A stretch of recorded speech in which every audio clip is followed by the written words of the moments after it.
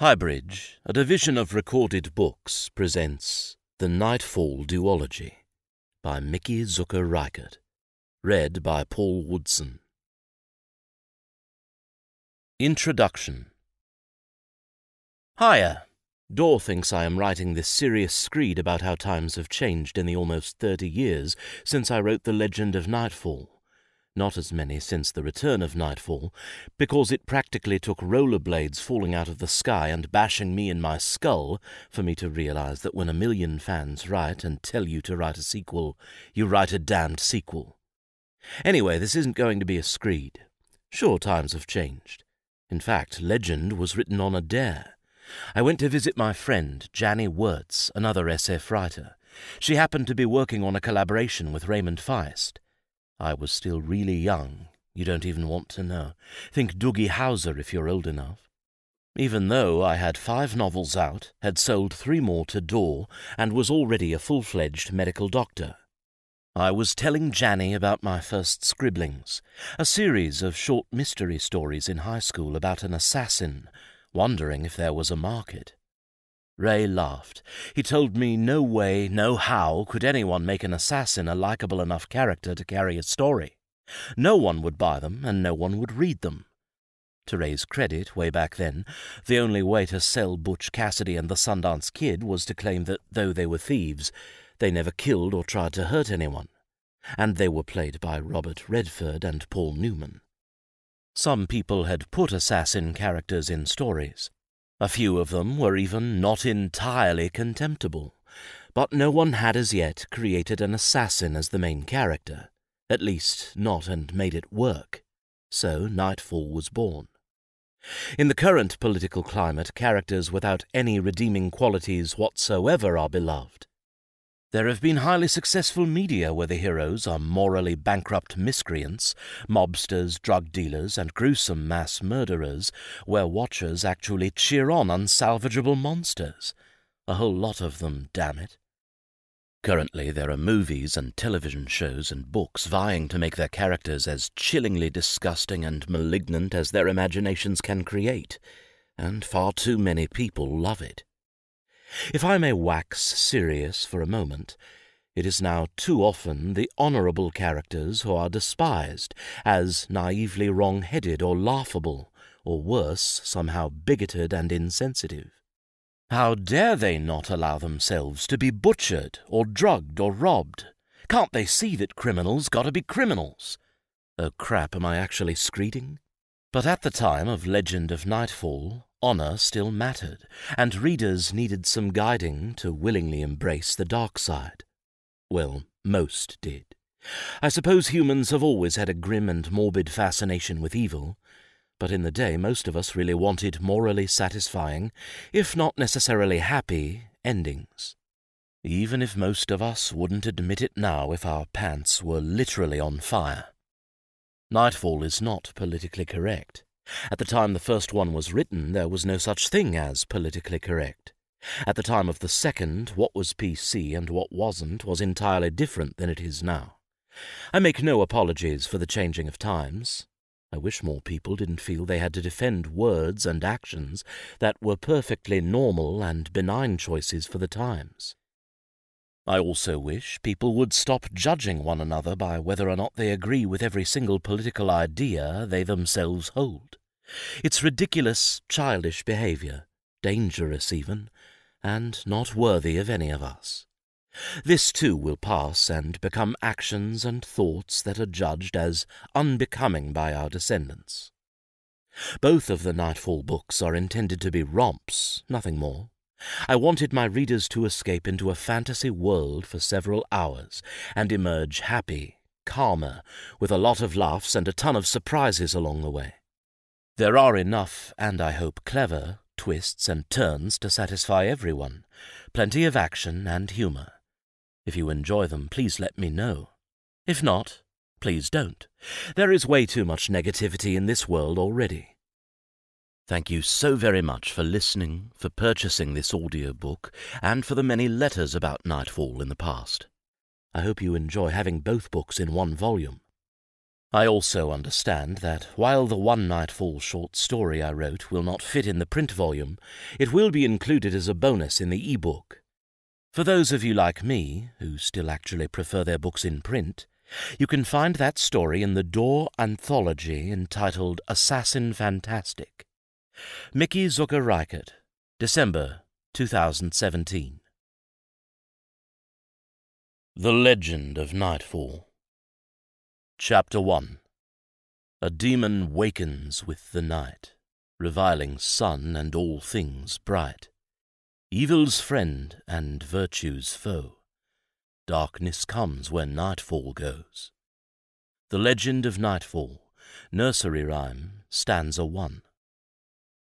The ketch raven tossed in the rhythmic swells of the northern Claymore Ocean, her bow christened with white water. Nightfall propped his booted foot against the gunwale, toe touching the handrail, and revelled in the fresh, salt aroma of the wind that filled Raven's sails.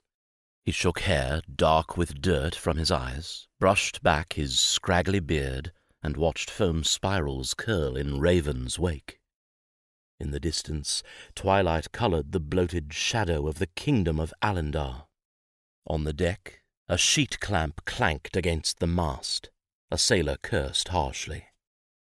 Bored of shifting with the eternal movement of the deck, Nightfall trebled his weight with a thought and stood steady as the lead raven that ornamented the ship's prow. Though controlling his mass with a thought would have shocked the other eight sailors aboard Raven, it seemed commonplace to Nightfall. The ability had come to him at birth, a congenital gift he'd long ago recognized as a curse. It had complicated an already overcomplicated life, rescuing him from many a tight situation, yet also drawing sorcerers who would murder him to seize his natural talent. Sorcerers gained their magical abilities only by slaying one of the rare people endowed with such a power, and their method required ritual slaughter and taking possession of the victim's soul. The captain's voice floated across the bulwarks in a musical parody of friendship. Marek! The call seized Nightfall's attention at once. The name had grown familiar during his years in the country of Nemix. Marek, Etan, Balshaz, Telwinar, Frihayat, each of those men had a vastly different appearance, diverse skills, and individual personalities that Nightfall never confused, though every one was himself. And not even the night-stalking assassin called Nightfall bore his true appearance. Marek! the captain called again, closer now. Slowly Nightfall returned his weight to normal, resuming his dance with the swaying stern. He tipped his head slightly, and an ice-grained breeze flicked strands of hair from his face. Otherwise he gave no response to the captain's summons. The captain's footfalls rang on the deck. Others followed like echoes. Marek? Nightfall lowered his foot to the deck and turned unhurriedly. He fixed his blue-black stare on the captain, noticing with alarm the half-circle of sailors who flanked him. Dark curls swarmed the captain's head and chin like ivy. Flesh wizened by sea air and sun peeked around the tufts of hair. Eyes black as diamonds met Nightfall's glare, then rolled guiltily toward the deck. The captain stank of sweat. A wave crashed against Raven's hull, suddenly jolting the deck sideways. Staggered, the sailors righted themselves awkwardly. Briefly, Nightfall doubled his weight, drawing some satisfaction from the sailor's antics. His gaze locked with fanatical interest on the captain's uneven, yellowed teeth. The captain gestured. The last dying rays of sunlight flashed from his sapphire ring, flinging blue highlights across the deck. Marek! The captain expelled the name in a blast of foul-smelling breath.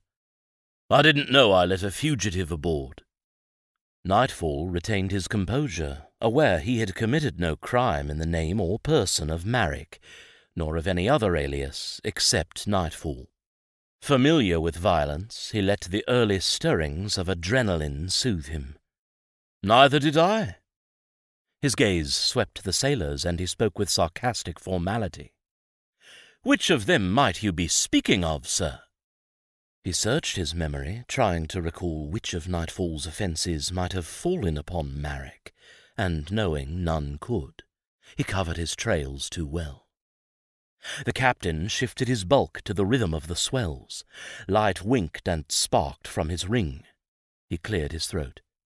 I received a message from King Ricard of Alendar by courier dove concerning the detainment of a murderer known as Nightfall. He stared, studying Nightfall's reaction. Nightfall parodied confusion. So, what does that have to do with me? His mind raced. Never in his thirty-four years had anyone crossed his aliases, and only one person, a dancer named Kelrin, knew Nightfall and Marek were the same man. Despite his danger, he pictured the woman he loved. Short white hair flying around plain features, her slender body hardened into muscle that formed taut, perfect curves. She betrayed me. Shock and denial tainted the image. She couldn't have betrayed me. She wouldn't.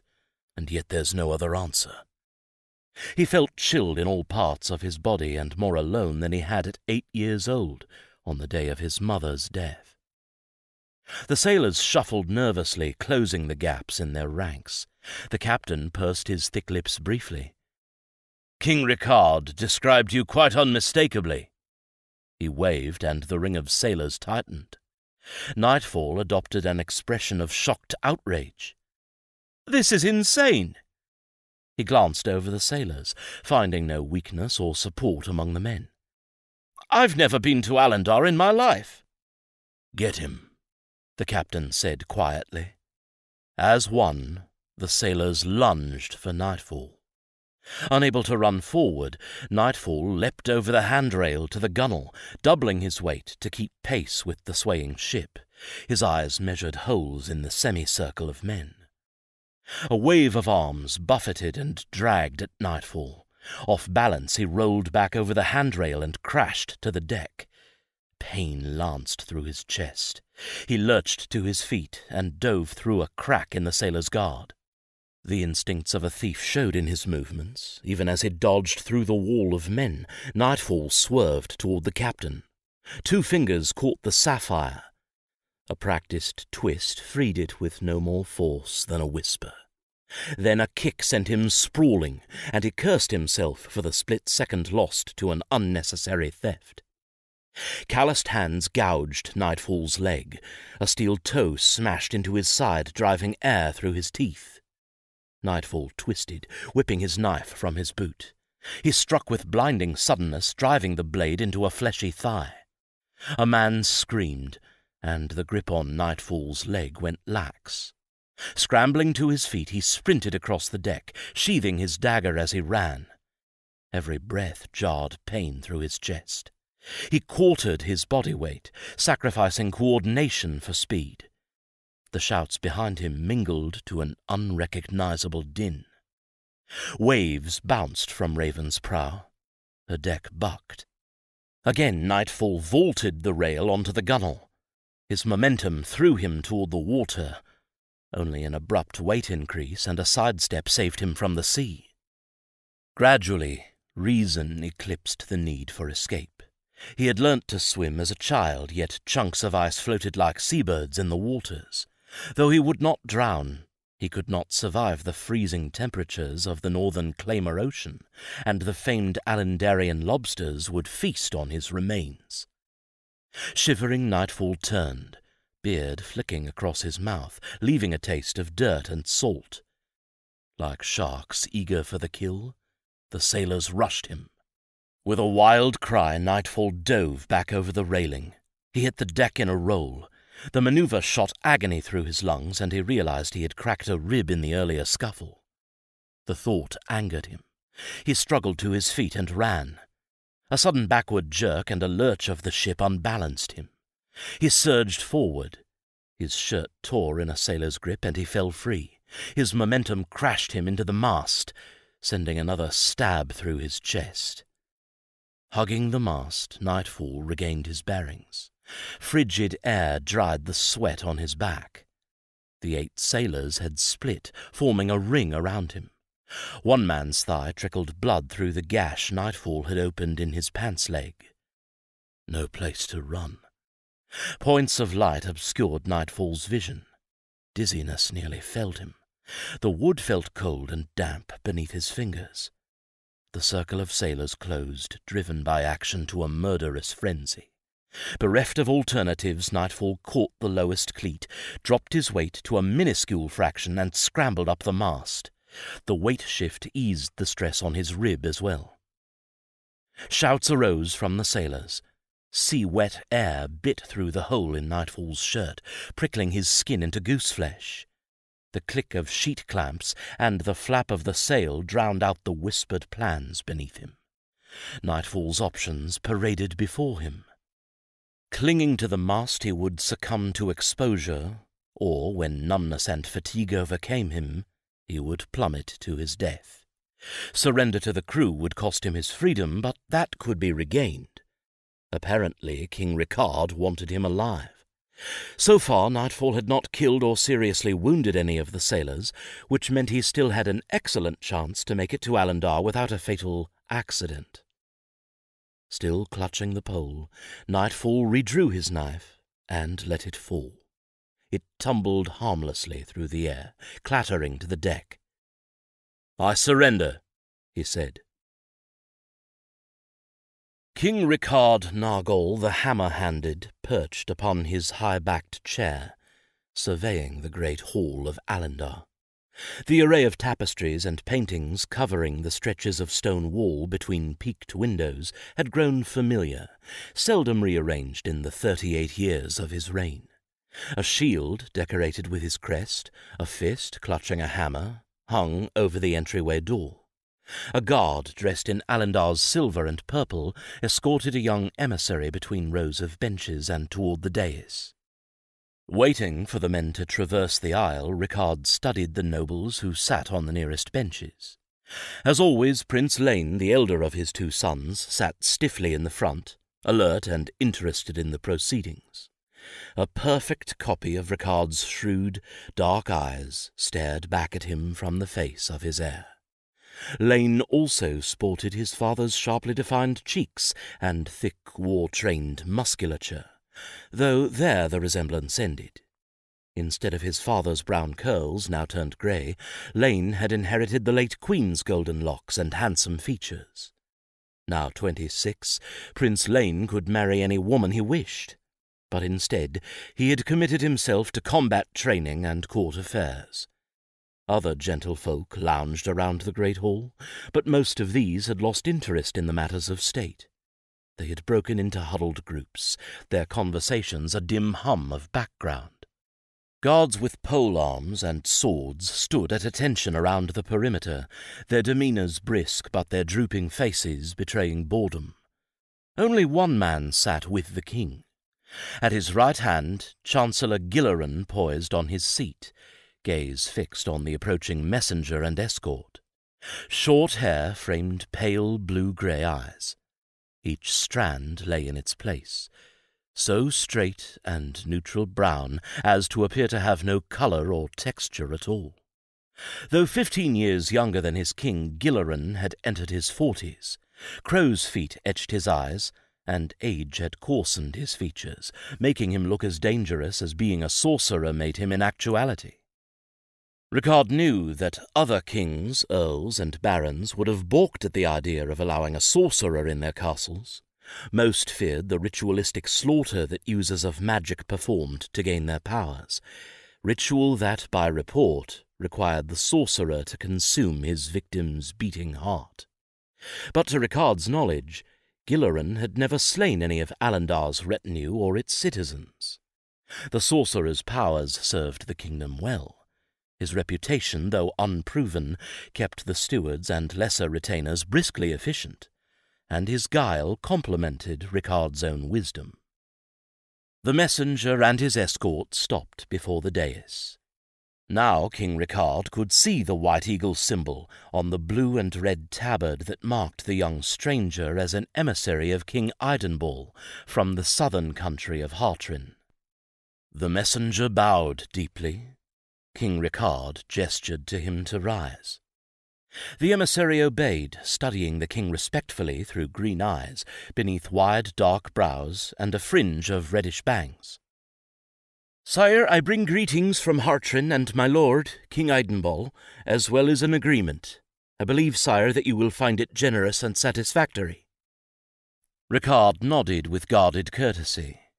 Rising taxes against his own goods arriving in Hartrin had caused him to boost tariffs against Hartrin in kind. Affairs had spiraled nearly into economic warfare, and he had as much desire to see the situation diffused as Eidenball. Alendar's fur and lobster trade into the Southlands gleaned more profits than Hartrin's spices and perfumes in his own lands. Still, Eidenball had a reputation as a cunning and frugal strategist, and not only on the battlefield. The emissary continued. King Eidenball has agreed to pay a quarter of his profits as tariff. King Ricard's brows arched, then beetled as he waited for the other shoe to fall. As usual, Chancellor Gilleran sat in expressionless silence. Prince Lane leaned forward attentively. His Majesty King Eidenball has agreed to pay half his profits for the following six months, provided he can trade freely without tariff over these next six months. Sire, he has asked that you do the same. Message finished with an efficiency that all but demanded an impulsive consent, the emissary lowered his head, awaiting a reply.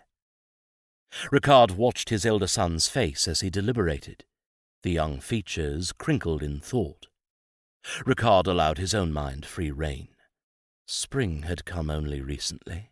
Ice chunks still cluttered the Claymore Ocean, making ocean passage difficult, but no longer impossible.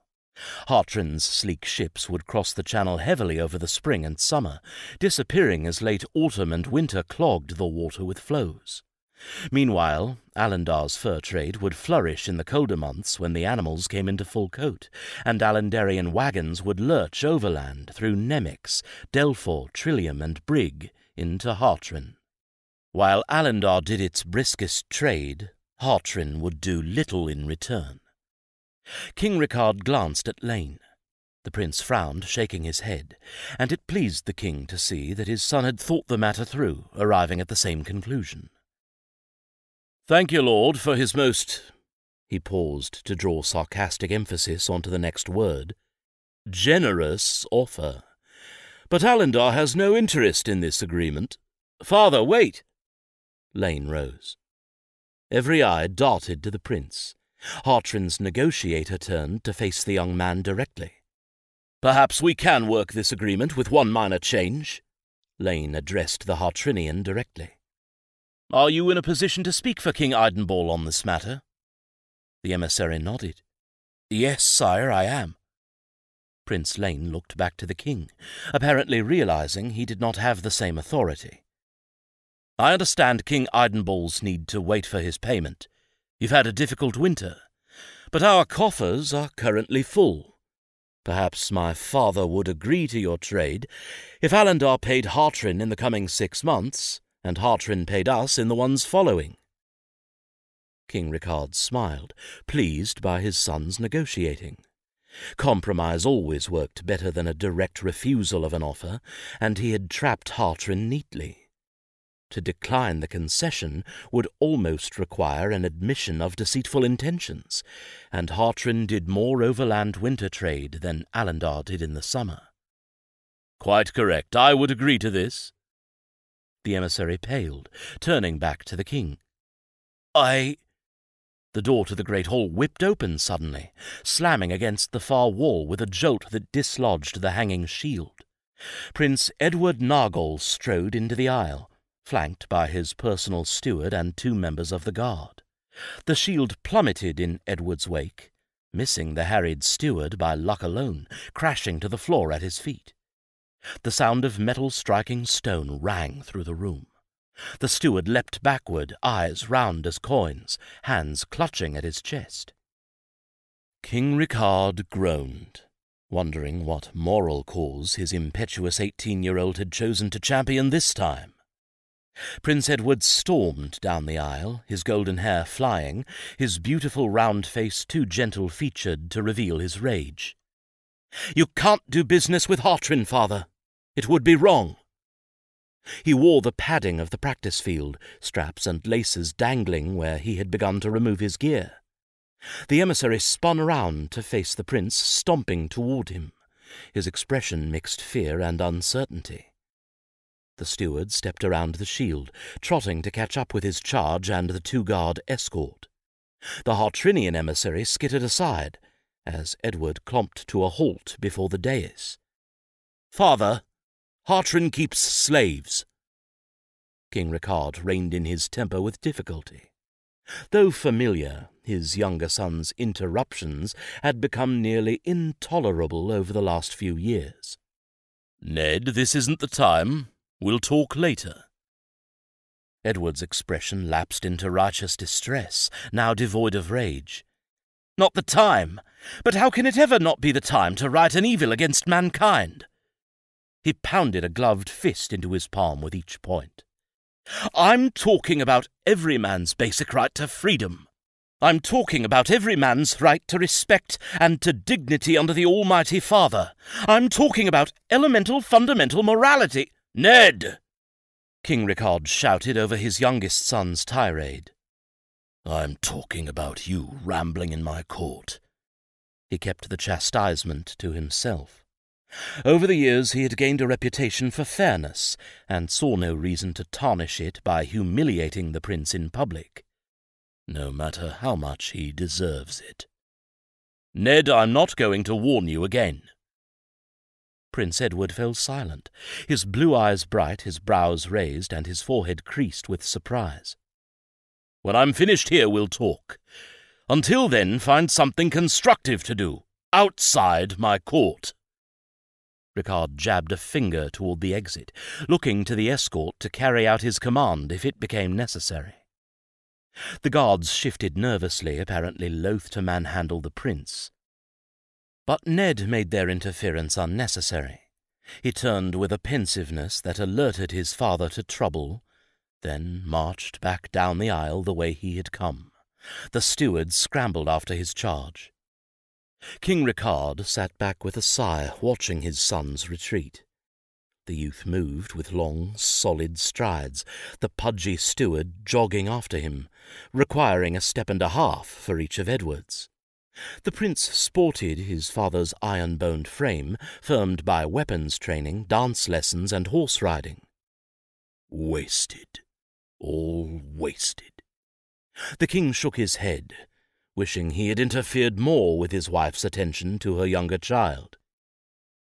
May she dance forever in the father's light, she meant well, but tutors, poets, and storytellers do not make a strong man or a competent ruler.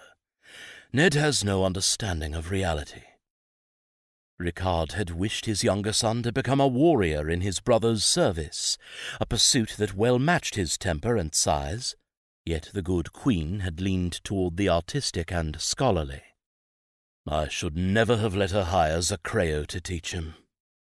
He pictured the tutor, a lanky Rankelian who talked as much with his hands as his mouth, and whose idea of fairness was based on the wants, not the worth, of a man.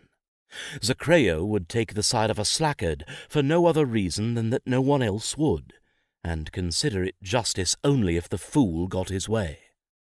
Now Ricard shook his head at the memory, and at his son's retreating back.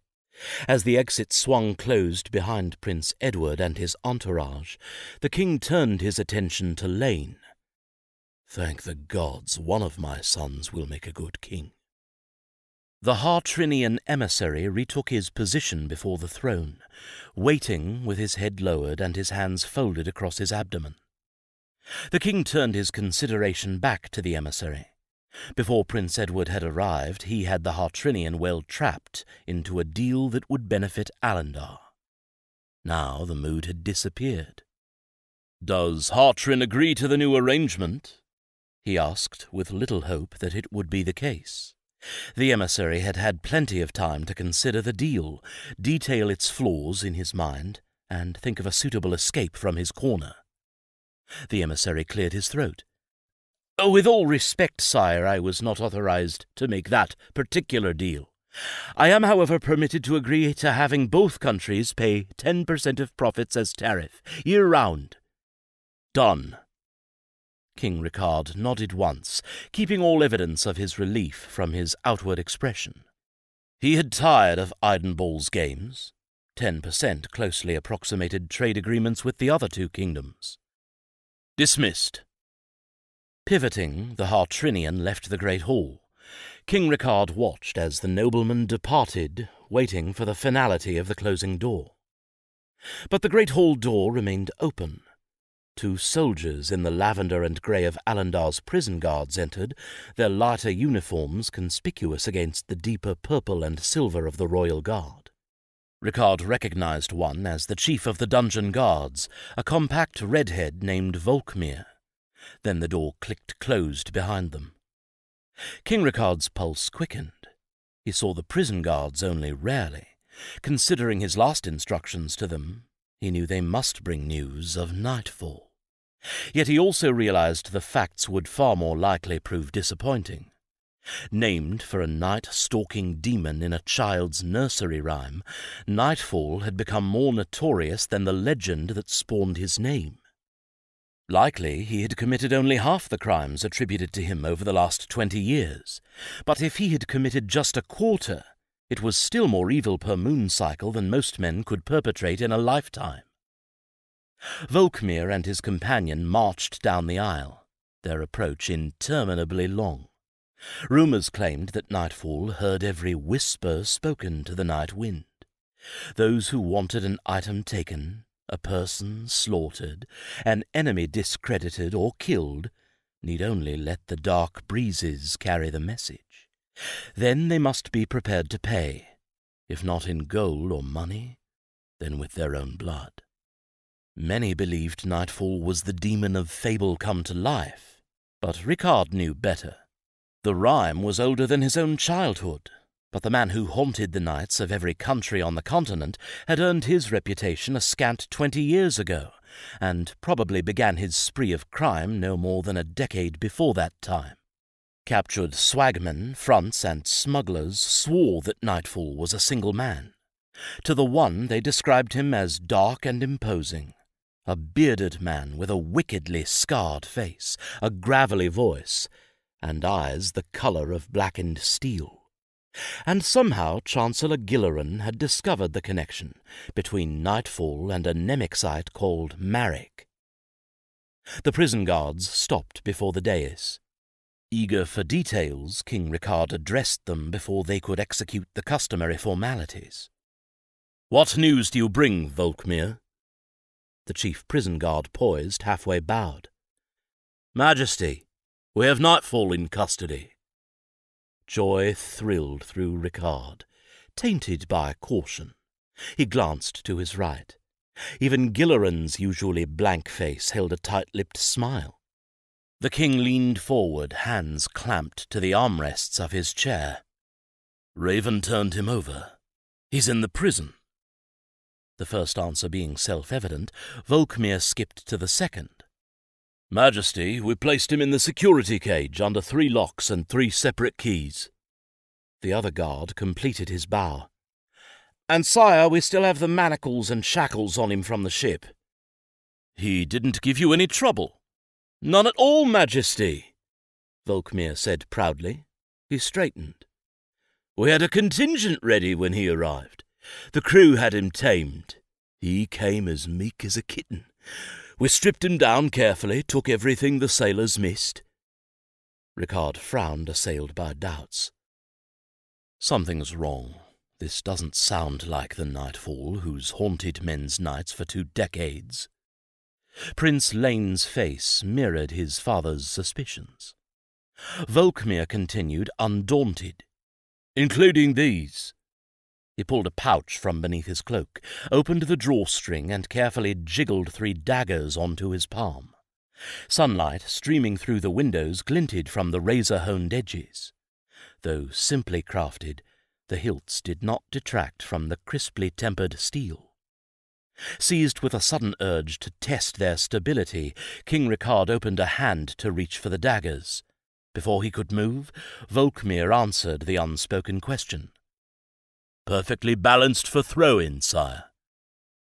His curiosity addressed, King Ricard redirected his gesture, tapping the chair arm with an open hand. The knives meant nothing. Any sailor or traveller might be expected to carry a utility blade or two, but most sailors could not afford even a single knife of the quality of those that sat in Volkmir's hand. Still, he wanted more convincing evidence. What else did you get from him? Volkmir flexed his arm, flicking the daggers back into the pouch. Just clothing, Majesty. Filthy and ragged. Ricard stroked his sculpted grey beard thoughtfully. I want to know what and who this man is. Use the torturer if necessary, but sparingly. We only need him to admit to one murder to justify execution, but I don't want an innocent man whipped into a confession. I want the truth. Volkmir bowed. Dismissed. Volkmir and his companion headed away from the great hall. King Ricard did not bother to watch their departure. Instead, he turned his attention to Chancellor Gilleran. The sorcerer's face had returned to its expressionless mask, yet his eyes burned like pale flames, and the hands that lay in his lap were tensely clasped, as if in anticipation. The king conferred softly with his adviser. You've met this Marek Nightfall before? Gilleran shook his head, not bothering with words. But you'll know him when you see him. Within a few sentences, sire, I will know him. Gilleran made a routine gesture of reverence, though his attention seemed elsewhere. And I hope, my king, you will leave Nightfall's execution to me. An assassin of his ilk deserves to have his soul writhe in agony for eternity. A slight smile flickered across his features and disappeared. By the time he fixed a grim stare directly on the king, his features had again lapsed into a pall. Don't you agree, sire? The cold cruelty of Gilleran's tone sent a chill through King Ricard, despite the obvious logic of his words. He was seeing a side of his adviser he had never seen before, and he was not at all sure he liked it. Alendar's dungeon reeked of must, mildew, and lingering disease. Dressed only in the loincloth the guards had left him, Nightfall crouched at the far side of his cell, the wall stones cold and damp against his back. Through the bars he could see shifting figures in the faint light that penetrated cracks in the ceiling, and a few guttering torches among as many spent ones stuck in brackets on the wall. The whispers of the other prisoners came to him in garbled bursts, liberally sprinkled with his demon name. The locks on his fetters had proved little more than an inconvenience. The shackles and manacles were heaped in a pile at his side.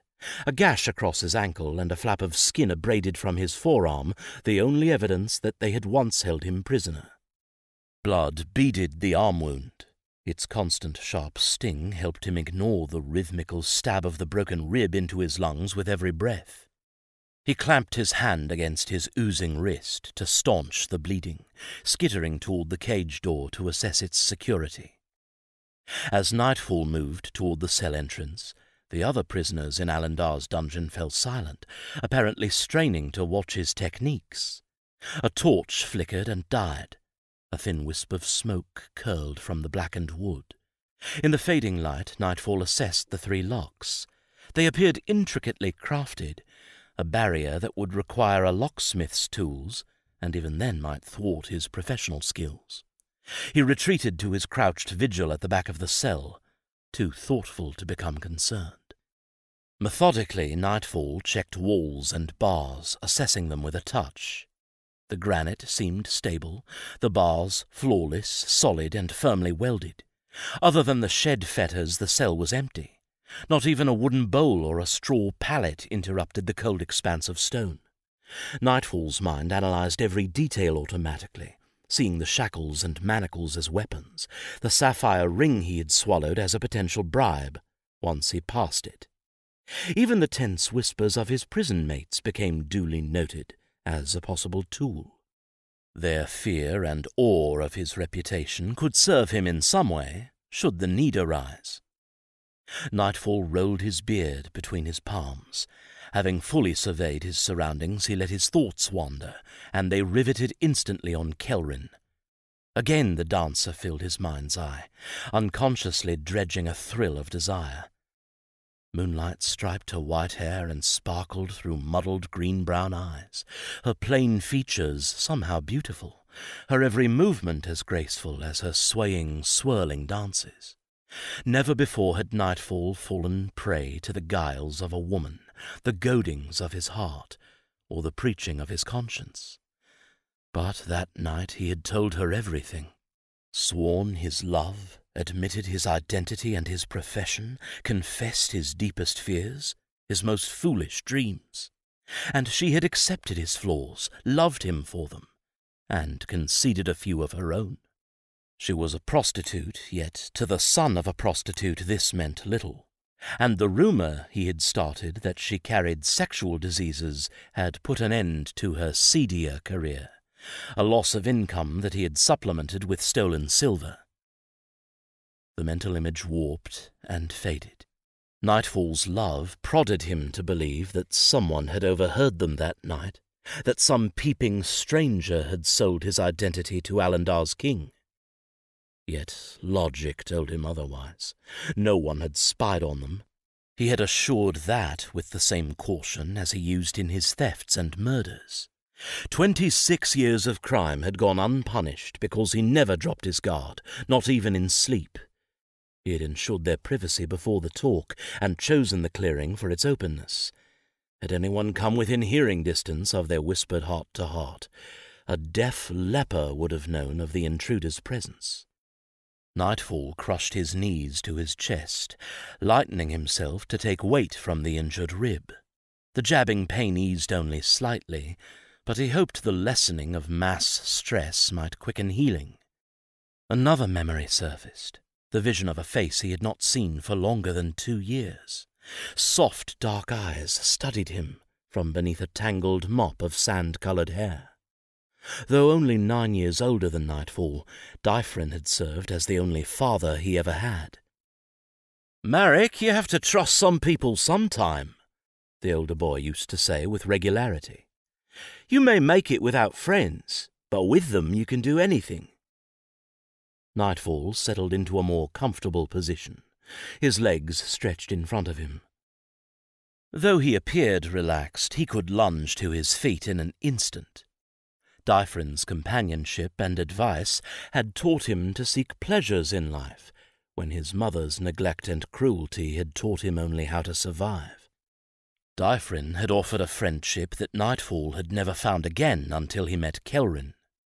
The older boy had seemed to read his every need and mood, knew when to press and when to back off, how to approach an issue without offending, and when to let the matter lie in pensive silence. When Dyffrin's lessons on morality failed, he could make the same point with logic. If you can't mourn the orphans and widows, think instead of the enemies random killings create. What good is silencing a witness if his twelve brothers and ninety-three cousins hunt you down? The image of Kelrin superimposed itself over Dyffrin, strengthening until the vision of the man disappeared, wholly replaced. She betrayed me. I can't believe the bitch betrayed me.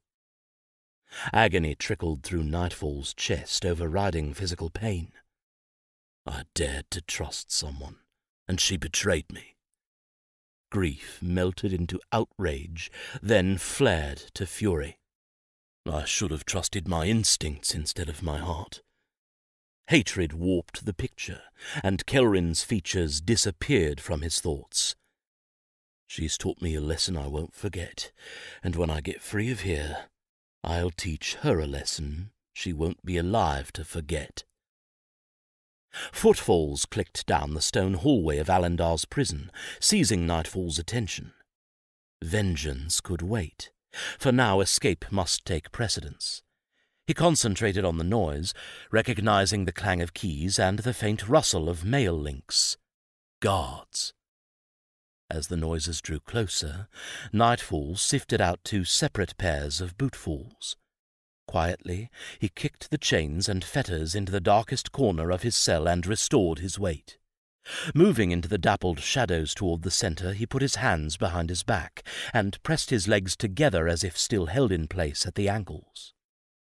Voices wafted to nightfall, becoming louder as the guards' approach hushed the hissed exchanges of the other prisoners. Hold him back while I open the locks. No problem.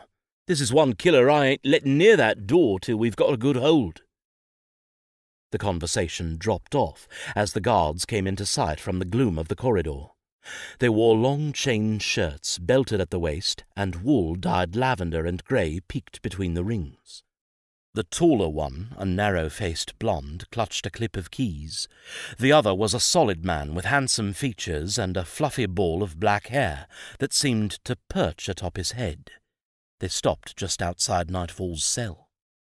Nightfall rose with feigned awkwardness, simulating shackles. He kept his hands poised, crossed against the hollow of his spine. A burr knotted into his beard scratched his throat, and from long practice he resisted the natural urge to dislodge it. The dark-haired guard drew his long sword and angled it for a stab between the bars. Stand where you are, Nightfall. You move, you die. Nightfall went still, assessing the two men in front of him. Both held the wary stances of seasoned warriors, their muscles taut from combat training. He felt confident he could best either with speed, and equally certain they would prove stronger and more skilled with weapons. His weight-shifting ability obviated the need to develop power in order to climb, and few of his thefts involved heavy objects. For killing he relied more on surprise and aim than thrust and parry. He glanced from one guard to the other, trying to look nervous while he assessed them. Each carried a long sword. The telltale bulge of a dagger displaced the smooth line of the blonde's boot. I told your people before. My name is Marek. Save it for the torturer. The shorter guard made an abbreviated jab with his blade. The taller one separated a key from its mates and thrust it into the lock. It twisted. The mechanism gave with a click. Torturer? Nightfall shrank away, his fear not completely an act. What do you mean, torturer? What's the charge? The blonde let the key fall and selected another, fitting it into the second lock. The other guard answered over the snap of its opening. What's the charge? An incredulous half smile spread across his lips. The charges, if I remember correctly, include 47 acts of grand theft, 19 murders, two counts of treason, one assault, and more than 850 misdemeanours. And that's just in Alendar. The number of killings sounded high, the robberies low, and Nightfall doubted he had assaulted anyone without finishing the deed. Yet otherwise the charges seemed appropriate. He continued the conversation to keep the guards watching his face so they would not notice the missing fetters. That's impossible. I've never been to Alendar in my life. You're mistaking me for someone else. The blonde exchanged his key for another, working on the last lock. He snorted. First time I ever heard that defence. How about you, Rylanat? Rylanat laughed merrily, as if his companion had actually said something funny. Ready? The blonde hooked the key clip over his belt. Rylanat nodded. Sheathing his sword, he backstepped, leaving room for the door. It swung open with a squeal of rusted hinges, and the two guards scissored toward nightfall, alert to his every movement. It'll go easier if you cooperate. A slight quaver in the smaller guard's voice revealed apprehension. Apparently the legends had affected even him. Come here. Nightfall remained in the shadows, pleased that the guard's discomfort kept them focused on his face and arms. He kept his features slack, trying to appear innocent and scared. Hesitantly, feigning the awkward shuffle of shackles, he edged toward the guards. Rylanat caught Nightfall's right arm, the companion his left. Nightfall kept his fingers laced together to prevent the guards from pulling his unmanacled hands apart. Docilely he allowed them to lead him in small steps from the cage and into a dark tunnel of hallway. Nightfall's mind kicked into memory, retracing his route to the cage. To the right, the long corridor led to a moss slicked stairway which spiraled upward to a wooden door. Once through it, he would be free. Only one other barrier stood in his way a gate that spanned from hallway floor to ceiling like a cold steel web. His gaze strayed to the key clip at the guard's belt, the answer to the door locks. Rylanat traced Nightfall's attention. Too late the thief realized his mistake. The guard's stare slid past his companion's waist to the floor, and the shackles missing from Nightfall's ankles. He opened his mouth to speak. Instantly Nightfall jerked, trebling his weight. The blonde stumbled. Thrown askew, Rylanat loosed a startled cry in place of the warning he had planned. He scrambled for balance, losing his hold on Nightfall's arm, nails raking his prisoner's naked shoulder. The sword on his left hip bumped Nightfall's thigh. Nightfall seized Rylanat's hilt. He drew, twisting for momentum. As the blade rattled free, he spun, slashing open the blonde's neck. Impact quivered through Nightfall's hands and flung the blonde guard to the floor. Blood splashed Nightfall's cheek. He whirled back to Rylanat, whipping the blade in a blind strike at the place the guard had stood. Rylanat leapt back, pawing at his empty sheath, the sword nicking his tunic and sending the links into a rattling dance. Here! he screamed. Nightfall's free! Shouts of encouragement rose from scraggly prisoners in the other cages. Nightfall swore, knowing the noise would draw the attention of any sentry who had not already responded to Rylanat's shout. He let the sword sag, leaving space for the unarmed guard to retreat. He's already alerted the others. Speed is more important than silencing him now. But Rylanat rushed Nightfall, apparently trusting his superior size and training, unable to know Nightfall now weighed as much as a boulder. As the guard bore down on him, Nightfall sprang backward, flicking up the sword. Too late, Rylanat tried to swerve. His own momentum carried him onto the sword, impaling him to the hilt. He crashed into Nightfall, meeting resistance as solid as the granite wall. Shock crossed his features. Then his mouth gaped open, emitting agonized screams. He slid to the floor, smearing blood across Nightfall's torso. Nightfall cursed his own incompetence. Now that he had killed the guards, escape was no longer a matter of timing, it had become instant necessity. And Rylanat's shrieks had turned a difficult evasion into an impossible one. Ignoring the writhing guard, Nightfall shifted his attention to the motionless blonde. Grabbing the keys and the boot knife, he dodged around Rylanat and ran for the exit. Rylanat's screams dropped to sobbing moans, revealing the echoing slap of running footsteps and the pleading promises of convicts begging freedom. Nightfall measured the confusion released criminals might cause against the time it would take to free them, and found the need for haste more driving. In the same situation, he knew Dyffrin would have loosed everyone, expecting no reward, though he would receive it.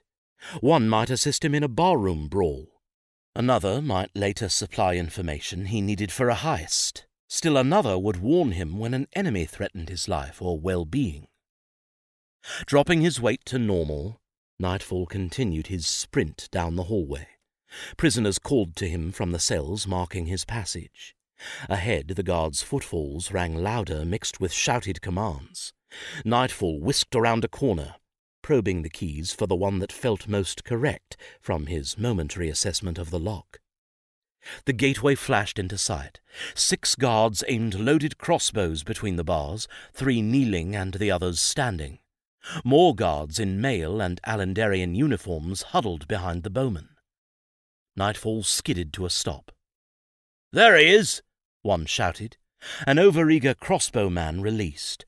The quarrel sailed toward Nightfall, who sprang aside. Its point struck the wall. The shaft shattered, plunging a splinter deep into Nightfall's arm. Fire! Nightfall hurled himself to the floor, tucked and rolling. The bolts rained around him just beyond accurate range. Retreating as he floundered to his feet, he darted off the way he had come. Vulgarities chased him down the hallway. A sword struck the metal wall, the sound ringing deafeningly down the corridor. Nightfall ran, weaving through puddled shadow, skirting the semicircles of torchlight. He kept his run sinuous, avoiding jerky movements that might attract attention, hoping to become lost to sight in the pervading darkness. Never having gone in this direction, he had no idea what to expect or where to go, so he trusted his instincts to lead him toward an exit. Behind him, the sound of the opening gate jostled and creaked through the hallway. Ahead, bootfalls hammered the granite, accompanied by a chorus of clinking chain links. Mercifully, the prisoners seemed to have lost track of him, their shouts muddled into a wild chaos that no longer gave away his location. Directly before his own cell, Nightfall stepped over Rylanat's now still form, reassessing his strategy in the moments before the guard contingents sandwiched him. To remain in place was folly. Enraged by his escape and their companions' deaths, Alendar's prison guards would surely beat him to oblivion, or beyond. Yet to run in either direction meant colliding with a rushing herd of sentries. From the noises, he guessed the guards from the unexplored direction would reach him well before the other group. Already he could see the leader's mail reflecting a beam of sunlight from a slit in the roof. Nightfall seized the bars to his cage. Rust bit his fingers, flaking into his palms. He lowered his head, dropping his weight as low as possible, and scrambled like a squirrel to the top. He took a deep breath that jabbed the rib into his lung with enough force to make him dizzy with pain. He clung, not daring to exhale. Within seconds, fifteen guardsmen dashed beneath him. Their four ranks swept the corridor from side to side, leaving no space for an escaping convict to slip past. The ones in the lead jerked to an abrupt halt before the body of the blonde, and the others pulled up as suddenly. One in the back veered, stumbling to his knees. What the hell? Holy Father, one of the leaders said. Spots filled Nightfall's vision. His lungs ached. Another guard crept forward, checking first Rylanat, then his companion. They're dead. His tone went ugly, though welling tears softened the curse. The ruthless bastard. I'll rip him apart with my own hands. Nightfall's lungs gasped spasmodically for fresh breath. He fought the urge for an explosive exhalation, letting spent air trickle silently between his lips. Several guards glanced into the empty cell, but not a single one looked up. There's nothing we can do here, another guard said. We've got to keep moving, or he'll get away. Skirting the corpses reverently, they continued down the hallway. Nightfall waited only until they passed, then slithered down the bars and dropped lightly to the ground. Gasping in a quiet breath, he ran in the direction from which the guards had come. Behind him he heard the shouted exchange as the two contingents met. Where is he? He's not this way. Well, he's certainly not that way. You idiots! The footfalls resumed behind him, growing louder as they spun back in his direction. They paused briefly as the new group found the corpses, gaining nightfall several paces of lead. The hallway branched into winding byways, Nightfall chose his course at random, guessing he ran toward the palace, yet finding no place to reverse direction. The pursuit grew more sparse as the guards broke into groups, but still they followed him consistently, never losing distance, yet never gaining. The run taxed Nightfall. Deep breaths shot agony through his chest, so he reverted to rapid, shallow patterns that lapsed into a dog-like pant. The pain radiated into a nearly crippling side cramp. Nightfall massaged the ache as he ran. Suddenly the left wall fell away, revealing the black mouth of a stairwell. The guards had hauled him down steps to enter the dungeon, so it seemed only natural to ascend. Whipping around the corner, he started up the steps. Nightfall's toes met slime-covered granite, interrupted by the passage of metal and leather. Encouraged by obvious signs of use, he sprinted upward, probing each slippery step briefly before trusting his weight upon it. From behind, the sounds of pursuit continued, the guards' boots slamming solidly on each stair. On entering, Nightfall had been too busy trying to catch each of the guards' words and intentions to count steps. Now the stairway seemed endless, and he wondered whether to blame the sensation on a poor choice of direction or his own impatient desperation. Just as he considered turning and trying to sneak past the guards, he came to a landing and a twisting hallway. He ran on, the sentries closing the gap behind him. Shortly he came upon another gloomy funnel of steps. Now committed, he took the stairs two at a time, Within a dozen paces he came to a dead end, discovering the bottom of a trap door above him. Two keyholes admitted light in parallel bands. Damn! Nightfall studied the locks, separating the correct keys by touch. He had no way of knowing where he would find himself once through the trap door, presumably in some well-travelled chamber of King Ricard's castle. Below him the clink of armour grew louder. He flicked the first key into the lock and spun, then inserted the second. He's up there, I hear him! A voice floated up the stairway, closer than Nightfall expected. He could hear winded inhalations beneath his own, and counted at least six sentries.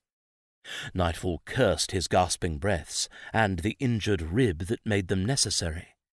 Exchanging the keys for the dagger, he slammed his shoulder against the trap door, prepared for a fight. The panel swung open. Chilled air washed over Nightfall, startling him. Outside? How? Catching the sides of the opening, he hauled himself through, studying his surroundings. The moss-stained wall of Alendar's castle rose beyond him, and a nearby pair of sentries whirled, alerted by the sound of the swinging door. To his left and right a stone ledge adorned with gargoyles jutted to the height of his waist. The sun beamed through a cloudless expanse of sky. As nightfall swung to the pathway, a hand enwrapped his ankle. Thrown off balance, he staggered, twisting. The gash from the shackles reopened, slicking his skin with blood.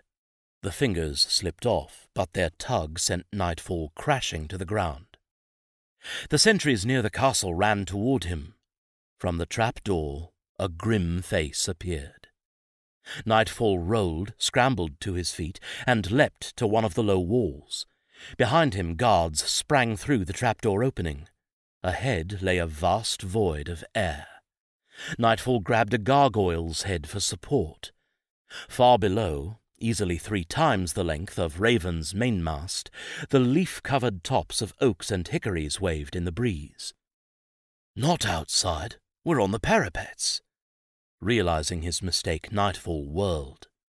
The guards advanced with the same predatory look as Raven's crew, clutching swords and crossbows. Get him! One shouted. Cornered and prepared to fight, Nightfall brandished his knife, dropping his center of gravity. Several guards charged. Nightfall dodged. His ankle cracked against a gargoyle. Stone gave beneath his foot, pitching him backward. For an instant he seemed to hover in midair. Then he plummeted from the parapets. Nightfall screamed. Wind sliced through his loincloth, spinning him like flotsam beneath errant waves. Desperation scattered his wits. Helplessly he clawed air. Within seconds, tree branches scratched his face and hands, limbs shattered, knocking him sideways. Then logic returned. He channeled all thought in one direction, driving his weight downward until his loincloth became heavier than his body. Air resistance slowed Nightfall's descent. Branches brushed aside harmlessly, and he floated toward the forest floor little faster than the leaves his fall had dislodged. He hit the ground, breath driven from his lungs, staring through intertwined branches at a distant line of loaded crossbows. Nightfall lay still, his consciousness wavering, aware any sudden movement would hurl him into blackness. Despite his dangerous occupation and his gift of weight shifting, he possessed a normal man's fear of heights. Never before had he tested his talent so abruptly, nor relied upon it so completely. Have to run. Got to get out of here quickly. Something struck the ground near his head. Painfully, methodically, he swiveled his neck toward it, staring down the shaft of a bolt to its purple and silver feathers. Don't move, Nightfall. A red-haired commander spoke. He knelt on the ledge of the parapet, a crossbow levelled at Nightfall's head. I don't know what demon blessed you. I don't know how you survived that fall, and I don't want to know. The king wants you questioned. Hell take your wicked, ugly, disgusting, murdering soul. I'm going to see that his will is done. But if you so much as quiver, if you give me the slightest excuse, I'll shoot you dead and revel in it. Though he had landed relatively lightly, Nightfall felt bruised all over. A double stab of pain told him he had broken another rib, and his back ached badly enough to warn of a possibly serious injury. Vertigo gripped him. Closing his eyes, he surrendered to oblivion. Chapter 2 Eyes darker than the midnight shade, teeth sharper than the headsman's blade. When he smiles, a cold wind blows, Darkness comes where nightfall goes. The Legend of Nightfall, Nursery Rhyme, Stanza 2. Prince Edward Nargol wove through the garden pathways of Alendar's courtyard, too preoccupied to notice the buds of the first spring flowers poking through the dirt, or the ever-present steward who chased him huffing in his wake. Slavery! The evil inspired by the thought sent a shiver through him.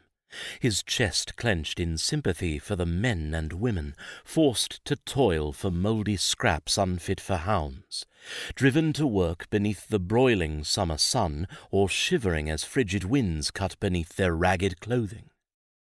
Owned like animals, beaten and cowed like wild asses broken to plough. No one deserves that. The last plot disappeared behind Edward's ground-eating stride. He kept to the trail, headed for the main gate and its hovering attentive retinue of guardsmen. My lord, wait, please, the steward pleaded, his voice a wheeze. Edward paused, giving the steward sufficient time to draw to his side. Elfred, it's not necessary to follow me everywhere I go. The slighter man stopped half a pace behind his prince. Sweat trickled from his grey-flecked brown hair. It's my job, lord. Not for long if you kill yourself doing it. Edward smiled. Elfred had endured as a prince's steward for four months, longer than any other attendant since Edward had turned thirteen. Here, I'll give you the day free. Elfred adjusted his tabard his breathing falling to a less painful sounding pant. And I thank you for your generosity. But with all due respect, lord, I work for your father, not you. The prince laughed. I hardly think my father would object to my giving my own steward some time to himself. Elfred's cheek twitched as he suppressed an exclamation that Edward would never hear. He avoided the prince's stare, hunched and concentrating on each slowing gasp. Impatiently, Prince Edward smoothed his red satin shirt and tugged his patterned breeks into a more comfortable position. Well? Elfred straightened, his breaths normalizing. Pulling a handkerchief from his pocket, he wiped his brow, leaving spirals of hair plastered to his forehead. Where are we going, Lord?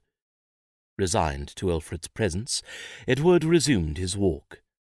Out to do the king's bidding. And that is, lord? Elfrit broke into a trot so as not to fall behind again. The gate loomed closer.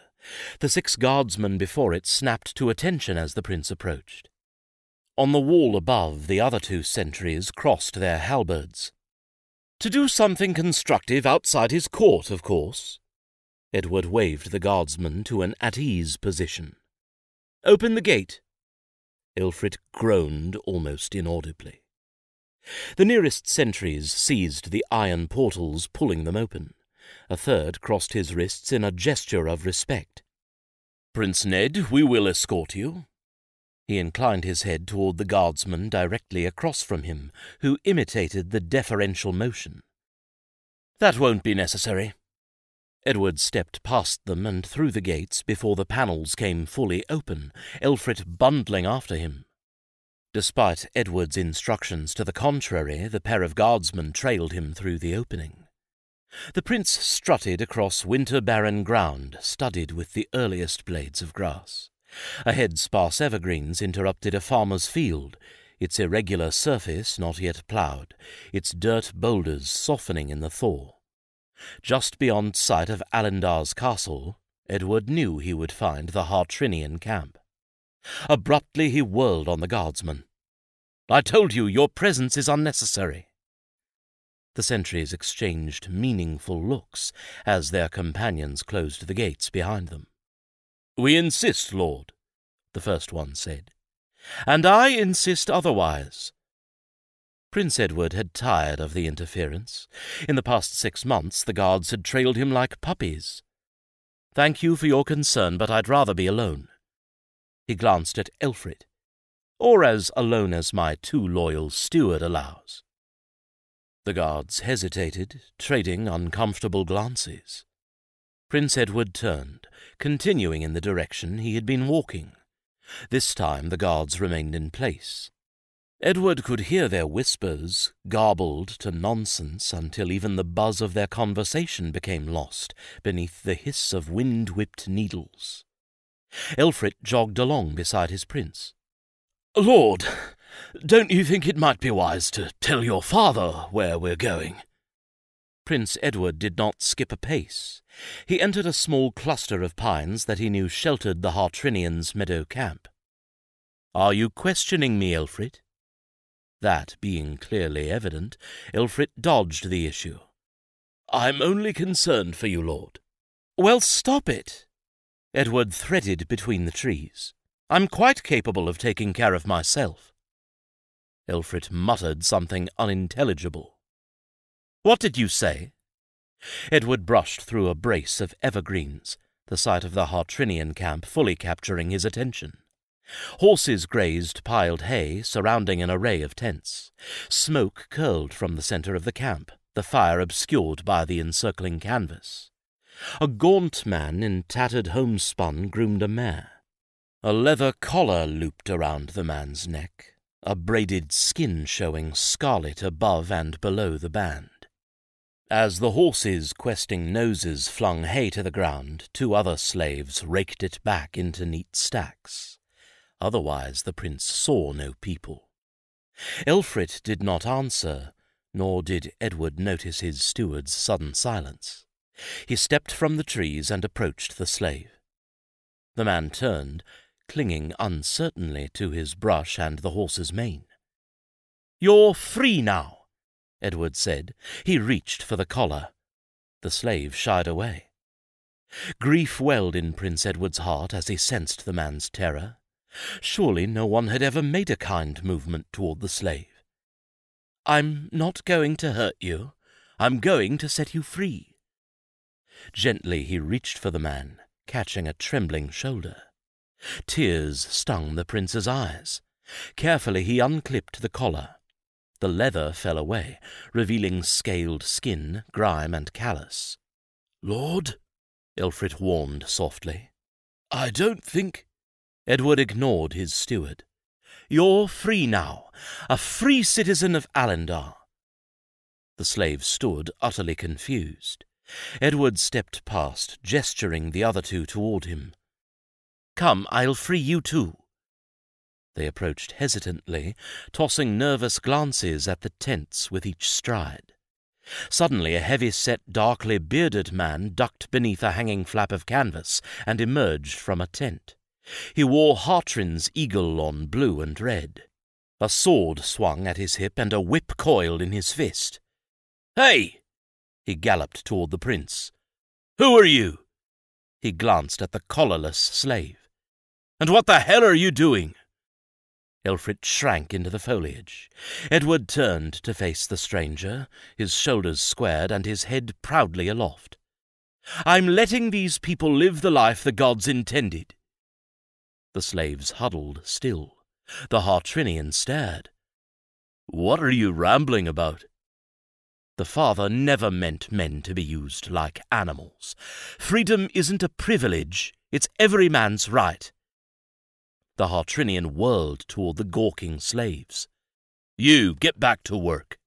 Fast as a snake he snapped the whip, the lash catching the two nearest across the back. One dropped to his knees with a cry of pain. Outrage flared through Prince Edward. Springing forward, he hammered a fist into the slave master's cheek. The blow landed squarely. Bones snapped beneath Edward's knuckles, and the force sent the Hartrinian staggering backward. Brush rattled as Elfrith ran back toward the castle. Edward caught the downed slave's arm to help him rise. You stupid bastard! The slave master surged toward Edward. The whip thrashed forward. No one had ever attacked Prince Edward before, except in spar. Caught completely off guard, he dodged too slowly. The scourge slashed his face, opening a stinging gash across his lips and cheek. Before he could speak, the whip whistled toward him again. Knocking the slave from the path of the thong, Edward threw up an arm in defence. The whip stung, coiling around his sleeve. Seizing it near the base, Edward tore the handle from the slaver's hand. His mouth ached, and he tasted blood, but the rage boiling inside him came wholly in defence of freedom. Voices sounded from the direction of the tents. Four swordsmen in red and blue dashed toward them. Now holding the whip, Prince Edward turned on the slave master. Gods, have you no decency? Don't you know what you're inflicting? He swung at the Hartrinian, hoping to give him a mild taste of his own cruelty. But the slave master lurched for Edward as he talked. The wooden handle caught the Hartrinian a clouting blow across the ear. His eyes snapped closed. His knees buckled and he collapsed limp to the ground. The slaves skittered away. Shocked, Edward dropped the whip, wanting to assist the man he had not meant to knock unconscious but the rushing Hartrinian guardsman forced him to tend to his own defence. He crouched, fumbling for his only weapon, the utility dagger in his pocket. Before he could draw it, the two Alendarian sentries burst from between the trees. Halt! one shouted at the Hartrinians. Two stopped, crouching in defence. The others slowed, glaring at Prince Edward. The guardsmen on both sides hovered, a single sword stroke from an act of war. The slave master lay still. Blood darkened one ear, his head awkwardly twisted. To have arrived so swiftly, the guardsman must have followed Edward against his orders, yet that seemed the least of his concerns. No one moved, and the silence grew heavy with tension. Men at ease, Edward commanded his soldiers. The Alendarian guardsmen fell back, but they did not lower their swords nor drop their guard. With the situation partially diffused, one of the Hartrinians sheathed his blade. He crept toward the slave master, his movements deliberately without threat, knelt at the man's side, and felt for a pulse.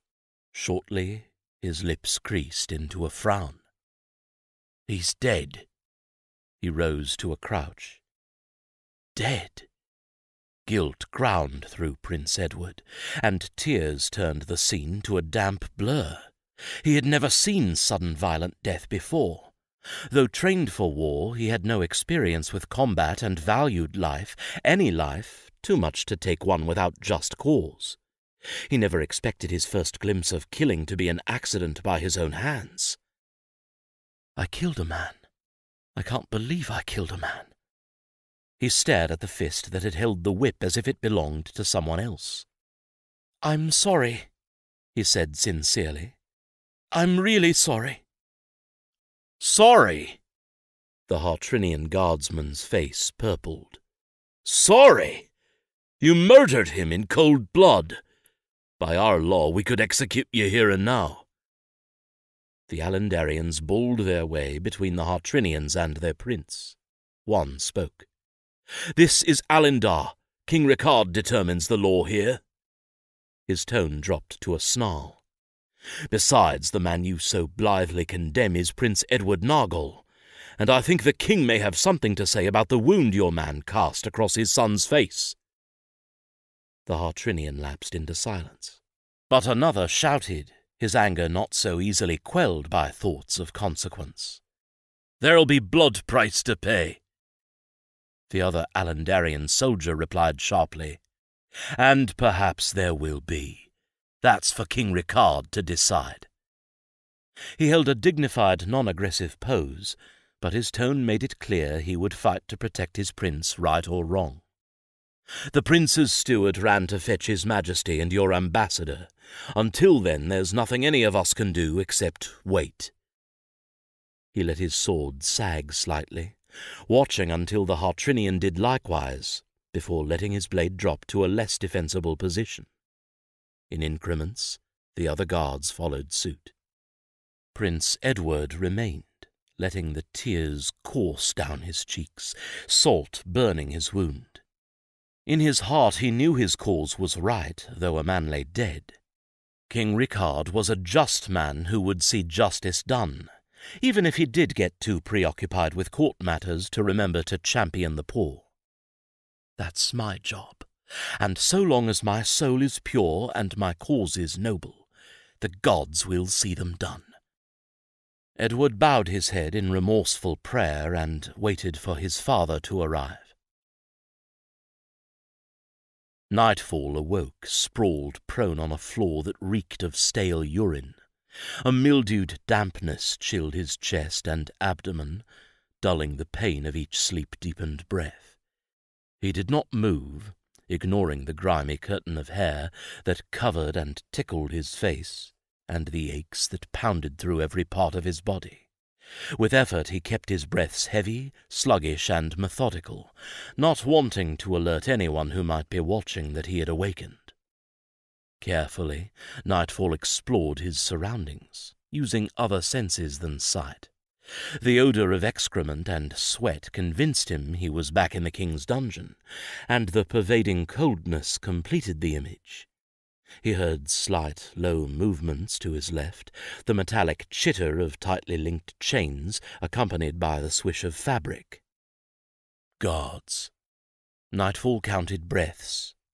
Two of them crouched or sitting sentries. Detecting no other movement, he knew that he must have been placed in a different cell. He was no longer in the main body of the dungeon amidst its other convicts. The sentries seemed to pose no immediate threat, so Nightfall turned his attention to himself. The sharpest pain still radiated from the cracked ribs that stabbed his lungs. Nothing else seemed broken, but he ached in all parts, not just those that had struck the ground when he fell. Clearly someone had battered him while he lay unconscious. Despite his predicament, the irony did not escape him. Afraid to face me awake, so they pounded me while I was senseless. Not a great way to get information, but it's safe. One of the sentries spoke. I still can't believe Rylanat and Dinel are dead. His companion made an ugly noise. Mail clinked as he moved, apparently rising. Something wooden scraped the floor. The butt of a weapon, Nightfall guessed. He focused on every motion of the second guard, still feigning sleep. Accepting the wordless noise as a response, the first guard spoke again. What do you think the king'll do with the murdering bastard? A sleeve whisked as he gestured, presumably in Nightfall's direction. If he's got any justice, he'll hack the demon into pieces and feed them to the dogs. Metal clanged against rusted steel. Nightfall tried but failed to identify the sound, Inwardly he tensed, seized with a sudden intense sensation of being studied. The scrape of wood against the bars was his only warning. Nightfall opened his eyes in time to see a spear butt racing toward his face. He dodged backward. His body protested the abrupt movement, sparking pain. The spear pole struck him a glancing blow across the shoulder. Lurching forward, he seized the wood and jerked. Caught by surprise, with his momentum still forward, the guard scrambled to reverse direction. Holy Father! The other sentry leapt to his feet. The spear rattled through the bars, the guard surrendering it an instant before the sharpened tip would have torn through his palms. Now Nightfall got a good look at his prison. Three of the walls were solid granite, the fourth a barred door opening onto the hallway where the guards stood. Though single, its lock appeared every bit as complicated as the ones on his previous cell. Torches lined the walkway, guttering in a wisp of frigid breeze. Nightfall crouched, brandishing the spear. The guards skittered to either side of the cell's door, safe from a direct thrust of the weapon. The first speaker, a tall, slender youth, stared at Nightfall through dark eyes contrasting starkly with a blanched face and the taut line of his lips. The spearman, a meaty blonde with a homely face, motioned to his companion. Get Volkmir. He should be on his way. The youth looked uncertainly from his companion to Nightfall. Nightfall went statue still. For now he had no intention of using the spear. Killing guards gained him nothing until he found a way to open the lock. In the distance he heard the sound of footsteps approaching at a leisurely pace. Go! the older guard insisted more loudly. Get Volkmir! The voice of the red-haired chief prison guard wafted from the hallway. I'm here, and I'm with His Majesty. What's the problem? Nightfall's armed, the youth called back. He's got a spear. Volkmir swore violently, the tirade transforming to an abashed apology in mid-word. He ran up the hallway alone. His footsteps stopped briefly, and Nightfall heard the click of a drawing crossbow. Then Volkmir stepped into view. Nightfall recognized the commander as the one who had threatened him from the parapets. Now, as then, the guard aimed his crossbow at Nightfall. Gaze locked on the prisoner, Volkmir crept around the younger sentry to stand directly before the cell door. Though it seemed foolhardy, Volkmir's position was obviously carefully chosen. It gave him as clear a shot at Nightfall as Nightfall had at him. To attack Nightfall would need to lunge, leaving the commander more than enough time to trigger his bolt. Even if Nightfall had had room to gather momentum to throw the spear, it would move slower and more awkwardly than the arrow. They say you're quick, Nightfall. Volkmir stood steady as a cliff, his feet braced and the crossbow well aimed. Let's see if you can drop that spear faster than I can shoot you. Nightfall plunged to his haunches, releasing the spear. The metal head sparked against stone, then the pole thunked to the ground. The head of Volkmir's arrow followed Nightfall's movement, but the guard did not fire. Very good. Now gently, kick the spear to the bars. Nightfall scrutinized Volkmir's every motion. The guard seemed quick and confident, not at all the type to bluff. To resist now was folly. Even if he managed to slay Volkmir, he would still be trapped in Alendar's dungeon, unlikely to live more than a few moments longer than his victim. He prodded the pole with one bare toe. Holding his hands away from his body, he indicated helpless surrender, using the edge of his foot to flick the spear to the edge of the bars. Volkmir made an all but imperceptible movement with his head in the younger guard's direction. Take it from him. The youth scuttled forward, nervously raking at the spear through the bars. Still menaced by Volkmir's crossbow, Nightfall resisted numerous opportunities to regain his weapon. The sentry worked the spear from the cell, then moved well beyond reach. All three guards relaxed noticeably, though Volkmir's weapon remained steadily trained on Nightfall's chest. His Majesty and Chancellor Gilleran wish to talk with Nightfall in private. You and I are going to patrol the hallways and see to it they're not disturbed. He addressed the sentries, though his attention never strayed from Nightfall. As to you, Nightfall, if you do anything to threaten King Ricard, I'll see that you die in the worst agony I can devise. Then I'll find you in hell and do it again. Do you understand? I understand, Nightfall said, his voice controlled to a maddening calm. Volkmir lowered the crossbow and motioned the sentries off in opposite directions. We'll talk later. I want to know how in hell he got that spear, and you'd better have a good answer. The elder guard cringed as the two sentries rushed to obey their chief's command. Volkmir scrutinized the lock and bars for tampering. Satisfied, he followed the younger sentry in the direction from which he had originally come. Beyond Nightfall's sight, a brief exchange followed. Majesty, I can stay with you while you talk. A rumbling tenor replied. Thank you, Volkmir, no. Chancellor Gilleran and I can handle this ourselves. A brief pause indicated hesitation, though the words that were followed were spoken with brisk efficiency. Yes, sire. If we can be of service, you need only shout. Thank you, Volkmir, King Ricard repeated. A heavy pair of boots trod the corridor toward Nightfall's cell, accompanied by one who walked with a swifter, lighter step. Volkmir's clanking movements faded down the corridor. Nightfall flattened his spine to the back of the cell, crouching beyond reach of the king and his minister. He dropped his mask to take the pressure from his aching legs, lungs, and abdomen. He had only glimpsed Alendar's king from a distance. Rumour claimed the Chancellor was a sorcerer, and Nightfall thought it best to keep his distance. Death in a normal fashion might send him to hell, but soul-bound to a sorcerer, he would live on in eternal torment, his life force chained to the sorcerer's will, his innate talent ripped from him and used again and again. Careful research had made him fairly certain that sorcerers found their victims by bribe, coercion, and eavesdropping, or by studying the populace for the one in a thousand with a natal ability. The sorcerers did not seem to have any supernatural sense that allowed them to identify the gifted ones without information or demonstration. As King Ricard Nargol and Chancellor Gilleran came into view, a thought froze Nightfall's blood in his veins. Kelryn knows about my weight shifting. If she sold my identity, why not my talent as well? So, this is the notorious Nightfall. Ricard stared at the hunched figure, smashed to the back of his cell.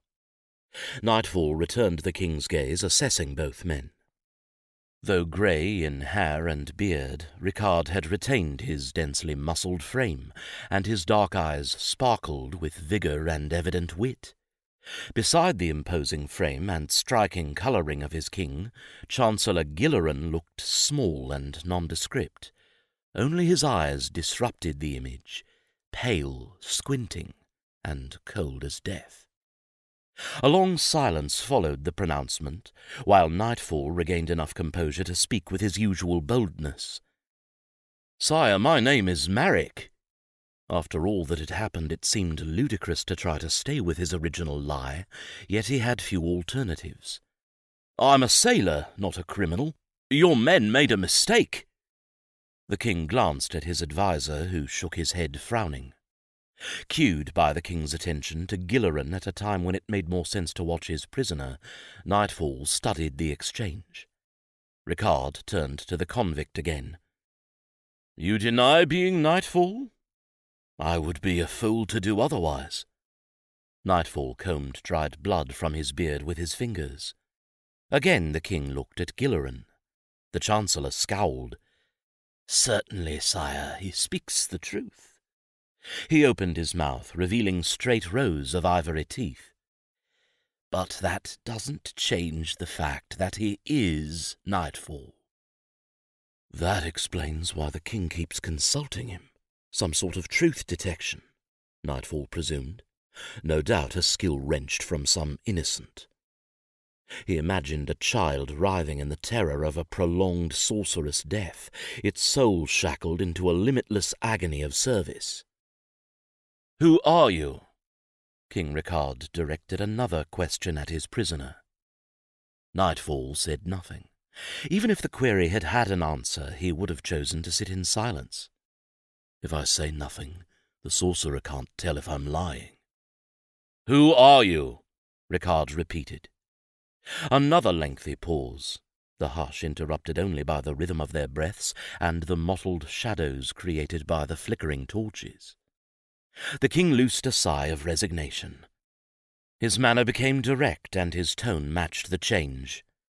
Look, Nightfall, Marek, whatever your name is, you have nothing to gain by silence. Even if we drop the other charges, you killed two of my guards. For that I have the right to execute you without trial and in any manner I wish. I'm not stupid. I won't let you out of that cell until you're dead. If you insist on ignoring my questions, I'll call Volkmir and order him to fill you with arrows through the bars. He glared at nightfall, tolerance clearly waning. It's not as bloody as he'd like, but I think he'd enjoy doing it slowly. Trapped, Nightfall lowered himself to the floor. And if I do talk, you'll free me? This time the king did not bother to consult his chancellor. Actually, that's a possibility. Nightfall kept his hopes in check. To believe such a thing was absurd, futile at best. Forgive my doubts, sire, but you did just remind me that I killed your guards. What possible reason could you have for letting me go? Personal reasons. King Ricard's brow furrowed, and his features darkened as if he considered some distant annoyance. But first I need some information from you, specifically the truth. Nightfall looked away. You have nothing to lose by honesty, and nothing to gain by lying. Now, who are you? Nightfall considered. Silence or lies would seal his fate. He dared not believe the truth might buy him freedom, but at least it might buy him time. Call me Marek, Call me Nightfall. What does it matter? King Ricard continued to press. But who are you? Who are you really? The question was nonsense. I'm Nightfall. I'm Marek. I'm a dozen others as well. Gilleran examined Nightfall with the intensity of a peasant choosing the plumpest chicken in a market square. No emotion escaped his set jaw and rock-steady gaze. The king ignored his adviser, clinging to the question. What does your mother call you? My mother is dead. Ricard narrowed in. What did she call you before she died? An image filled Nightfall's mind, blurred by time. He pictured the frail, slender form of his mother, her dark hair combed to a sheen, a red dress hugging curves sharpened by hunger. To him she looked beautiful, yet her pinched features warned him of coming violence. He shrank from the image. She called me boy mostly, sometimes rat or stupid. King Ricard glanced sharply at Gilleran, who shrugged. Your mother called you those things. Bitterness tainted Nightfall's words. Some of us don't grow up on hugs and kisses and silk, the king seemed to ponder the words far too long before returning to his original inquiry. But surely she gave you a name? Nightfall searched his memory. Twenty-six years had passed since his mother's death, and thirty at least since she had used his name. I believe it was Sudian, sire, though I haven't heard it since I was a toddler. Then it should work just fine, King Ricard announced cryptically. He pulled at his beard, looking thoughtful. Sudian what? Nightfall stared. The question made no sense to him. Huh? The king copied Nightfall's defensive tone. Well, forgive my growing up on hugs and kisses and a family name. But isn't it customary in most countries to give a man a second name based on his parentage? Sudian, some man's son. Nightfall drew his knees to his chest, centralizing his balance. Sudian, no man's son. No man's son. Are you protecting your father? There's no need. It's not his fault his son is a murderer. I have no father. Nightfall stated it definitively, hoping to end the conversation, yet with little doubt it would continue. About Nightfall's history, the king's curiosity seemed relentless. As expected, Ricard pressed. Every man has a father. Not me, Nightfall said shamelessly, catching and holding the king's dark gaze. My mother was a prostitute. Any man could be my father. The memories surfaced, the years robbing them of emotion. He recalled lurking in the shadows of the street, huddled against the cold, his thin, unpatched homespun of little comfort against the wind. He remembered trailing his mother and her latest client to the bare, dusty room, scarcely warmer than the alleyways, watching them writhe and moan between threadbare sheets. By two years of age, he had learnt to disappear before the session ended to avoid his mother's teary-eyed rages against her lot, and the child who, she insisted, cost her dearly in food, money, and time, though she gave him none of those. By the time he was three, he had learned to search her clients' pockets for crumbs and spare change, inherently knowing that to take too much might turn their wrath against her. A prostitute, the king repeated. Hardly no man's son. I should think that would make you every man's son. The cavalier observation raised a wave of malice. Instantly Nightfall's thoughts were flung backward to the winter of his eighth year. Then he had returned home from seeking food to find a stranger battering his mother while he ravished her. Nightfall had witnessed the final blow to the throat that turned her breaths to terminal gasps.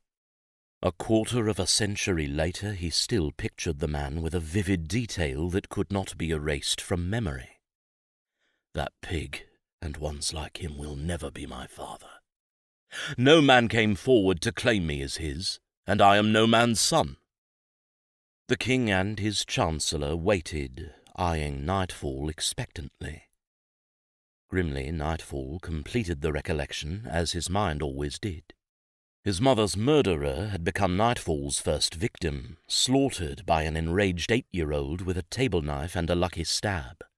The memory would remain for eternity.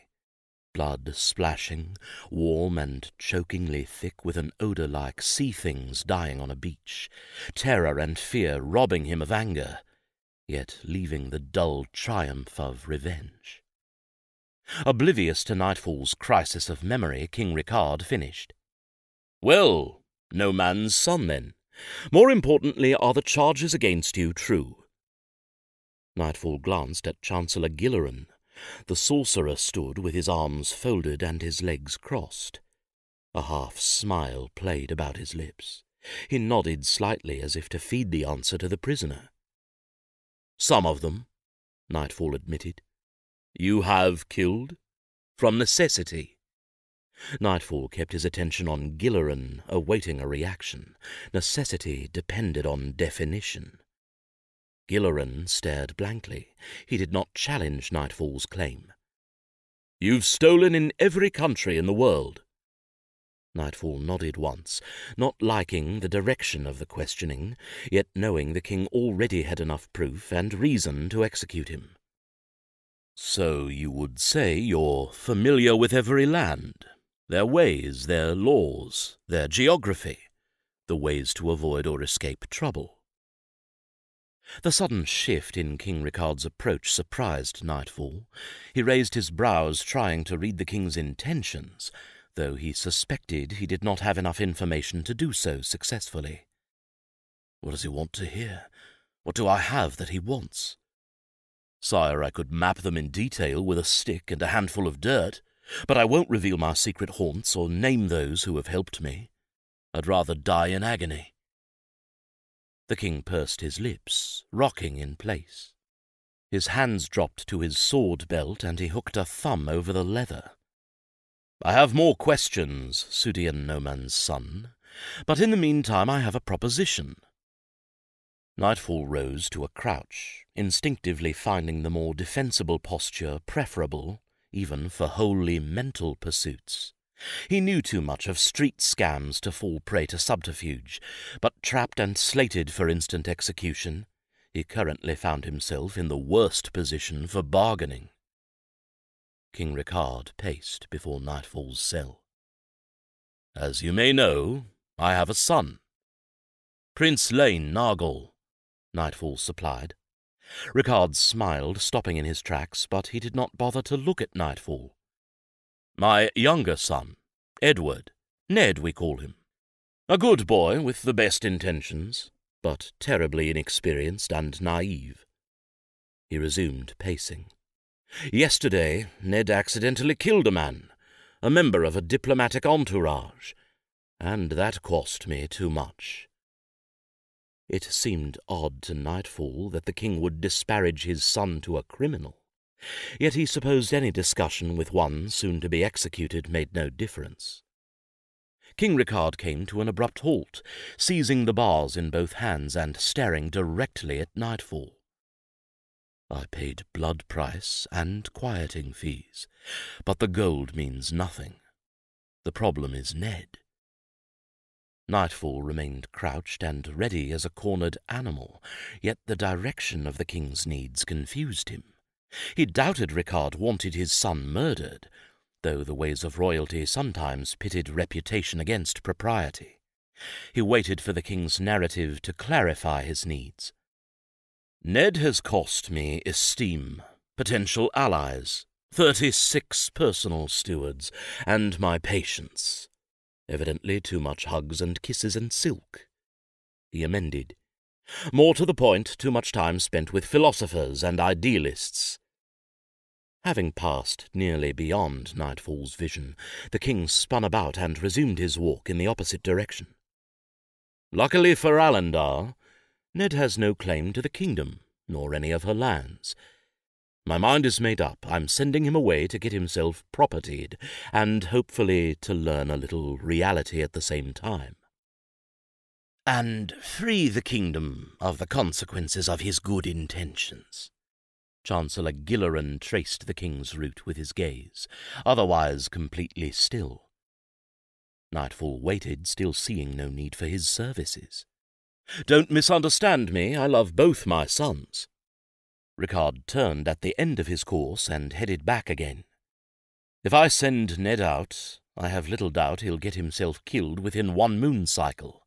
If he doesn't fall prey to footpads or schemers, his own overbearing virtue will offend the wrong person. He halted directly in front of Nightfall. Nightfall could see potential in the king's words, but he found it impossible to translate theory to practicality. Apparently, he wants me to protect Ned from the world and himself, but no one could be stupid enough to trust his son's life to me. I want you to become Ned's squire. Nightfall blinked. Otherwise, he made no sound or motion. This is too good and too easy to be true. Immediately his mind boggled with possibilities. It would prove simple enough to rob and murder the young prince. Once free, Nightfall would never be caged again. There are conditions, of course. Of course. Nightfall waited, seeing no reason not to promise anything except for Gilleran's truth spell. Still, he might get away with any carefully worded vow. The king backstepped, gesturing at Chancellor Gilleran. As you may know, my adviser is a sorcerer. Nightfall hid his aversion. He has a spell with a strange name I can't pronounce. I call it oath binding. The way it's worked in the past, you and I agree to terms, and Gilleran seals it with his spell. Nightfall clutched his knees, now bothered enough to consider refusing the king's offer on principle. He hated magic and sorcerers, and not just their abominable methods of gaining skills. Despised and feared by nearly everyone, sorcerers seemed devious, cruel, and twisted by the nature of their abilities and the obtainment of them. Yet his other option was certain death. The king continued. Should either of us break a condition of the spell, his soul would die by sorcery. As I understand it, that means eternal torment for the spirit, which would become the property of the sorcerer. He glanced at Gilleran, and Nightfall thought he saw Ricard shiver. Gilleran remained still, looking like a washed-out caricature of a man, though his eyes revealed strength and joyful cruelty. Nightfall presumed all of the terms of the oath would be placed on him, leaving no opportunity for the king to break a promise nor die in magical agony. And these conditions? he asked, not at all certain he wanted to know. King Ricard pulled a rolled parchment from the pocket of his robe. Opening it, he read, First, you will serve Prince Ned with his long-term best interests in mind at all times. The king looked up. You will be obedient to Ned. You will address him always as Master, and to others use his full name and title. Nightfall frowned. But, where Ned's judgment fails, your obedience to his welfare must always take precedence over obedience to his words, no matter the personal consequences. I'm not calling any man master. Nightfall found the suggestion distasteful. In other words, I have to do what's best for him, even if he whips me for it. King Ricard gave a wry chuckle. Whipping is the last thing you have to worry about from Ned. He may try your patience to the edge of eternity. He may command you to do things that have no basis in any reality that supports common sense. But he won't physically abuse you, that I can promise. Gilleran tapped the king's arm in warning. But I won't, Ricard amended quickly. For the purposes of the oath bond, it would be best if I made no vows. He looked back at the parchment. Second, you must see to it that Ned gets landed by Urtish's harvest moon. Five months. Nightfall knew survival. He had paid no attention to methods of obtaining land and had little experience with politics, but he thought it better not to reveal his ignorance. Apparently, the king felt confident of Nightfall's abilities, and with good reason. If anyone could keep Ned alive and landed, I could. Third, you cannot harm or willingly cause or allow to be harmed Ned, Lane, myself, Gilleran, or any noble, servant, or guardian of Alendar's court. And fourth, nightfall is declared executed. You take a new name, identity, and appearance, and cannot tell anyone who you used to be. That's it? Nightfall asked sarcastically. That's it, the king acknowledged. Nightfall immediately found the gap in the plan. And once I've finished serving your son, you execute me. If you fulfill the provisions of this oath, if Ned is landed by harvest moon, the oath bond is automatically dissolved. You become a free man with no debts or obligations and a chance to start life fresh. Since all conditions of the agreement disappear once the oath is gone, I can't force lasting demands on you. It's in my best interests to keep you happy, to give Nightfall no reason to re-emerge. Do you agree to the terms? Nightfall considered. If he refused, he would die. He found the thought of serving a guileless fool unpalatable, yet at least he would be a living servant. Possibly he could find a way of escaping the terms of the oath bond if he found himself unable to fulfill them. And I have to consider the possibility that the king is lying about the workings of the spell. That last thought haunted Nightfall, but magic was rare and every spell as different as the innate ability from which it sprang. Having no experience with this particular spell, he had no way of guessing its weaknesses. May I ask some questions? You may. When Ned becomes landed, I'm free of all parts of the oath bond. Correct. Am I also acquitted of all crimes? King Ricard hesitated. Yes, at least in Alendar, though that doesn't give you freedom to commit more. So long as you take a new identity, I don't think the other countries will try you either. They'll take my word that Nightfall's dead. And in a manner of speaking, he will be. As I said, it's in my best interest to keep you happy, to see that you have enough money and stature to prevent the need for murder or theft. That had an undeniable appeal. Survival had driven Nightfall to an unprecedented spree of crime. Status and wealth would mean he never had to sin again, and a new identity would end decades of running. What if one of us dies, or the Chancellor? King Ricard deferred the question to his sorcerer. Gilleran cleared his throat. Once cast, my life has no connection to the spell. My death, or that of His Majesty, may the gods prevent it, will not affect the bond. Your death, of course, would dissolve it. He barely moved his mouth as he talked, expressionless as a corpse, his eyes hollow and unrevealing. Though it would gain you nothing. Except a chance to die a normal death, instead of becoming a tormented soul bound to a sorcerer. Nightfall kept the thought to himself, though Gilleran answered it naturally. Don't get any ideas about taking your own life the day before the deadline. Suicide violates any oath bond. Your spirit would still belong to me.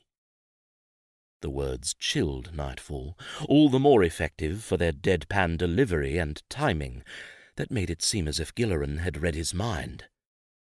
I need time to think. Very well, the king said. I'll give you time. You have until I count to twenty. He took a deep breath. One. Two. Sighing, Nightfall let King Ricard's words disappear into the rhythms of his thoughts. He had become too dedicated to survival to choose death over life, no matter how conditional. Five. Six. Rising, Nightfall approached the bars. What do I have to do? Chapter 3 When shadows fall and sunlight breaks, what nightfall touches, nightfall takes. Lives and silver, maids in bows, darkness comes when nightfall goes. The Legend of Nightfall, Nursery Rhyme, Stanza 3 a week after its casting, the oath bond still tingled through nightfall like blood flow returning to an awakening limb, the feeling a constant nagging reminder of its presence. Alone in a room in Alendar's castle, he perched on a wooden chair, studying his distantly familiar face in the mirror. A series of scouring baths had removed the grime and dyes that had become a constant feature of so many of his personae. The ever-present beard was gone, his hair trimmed into a fashionably short style.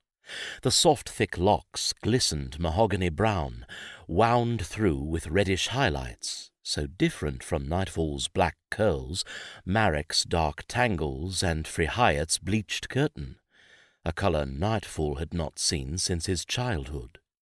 The olive skin tones were replaced by his natural fair colouring, the missing scraggle of beard revealed a strong chin, and the unkempt froth of head and facial hair no longer hid his straight nose and ears.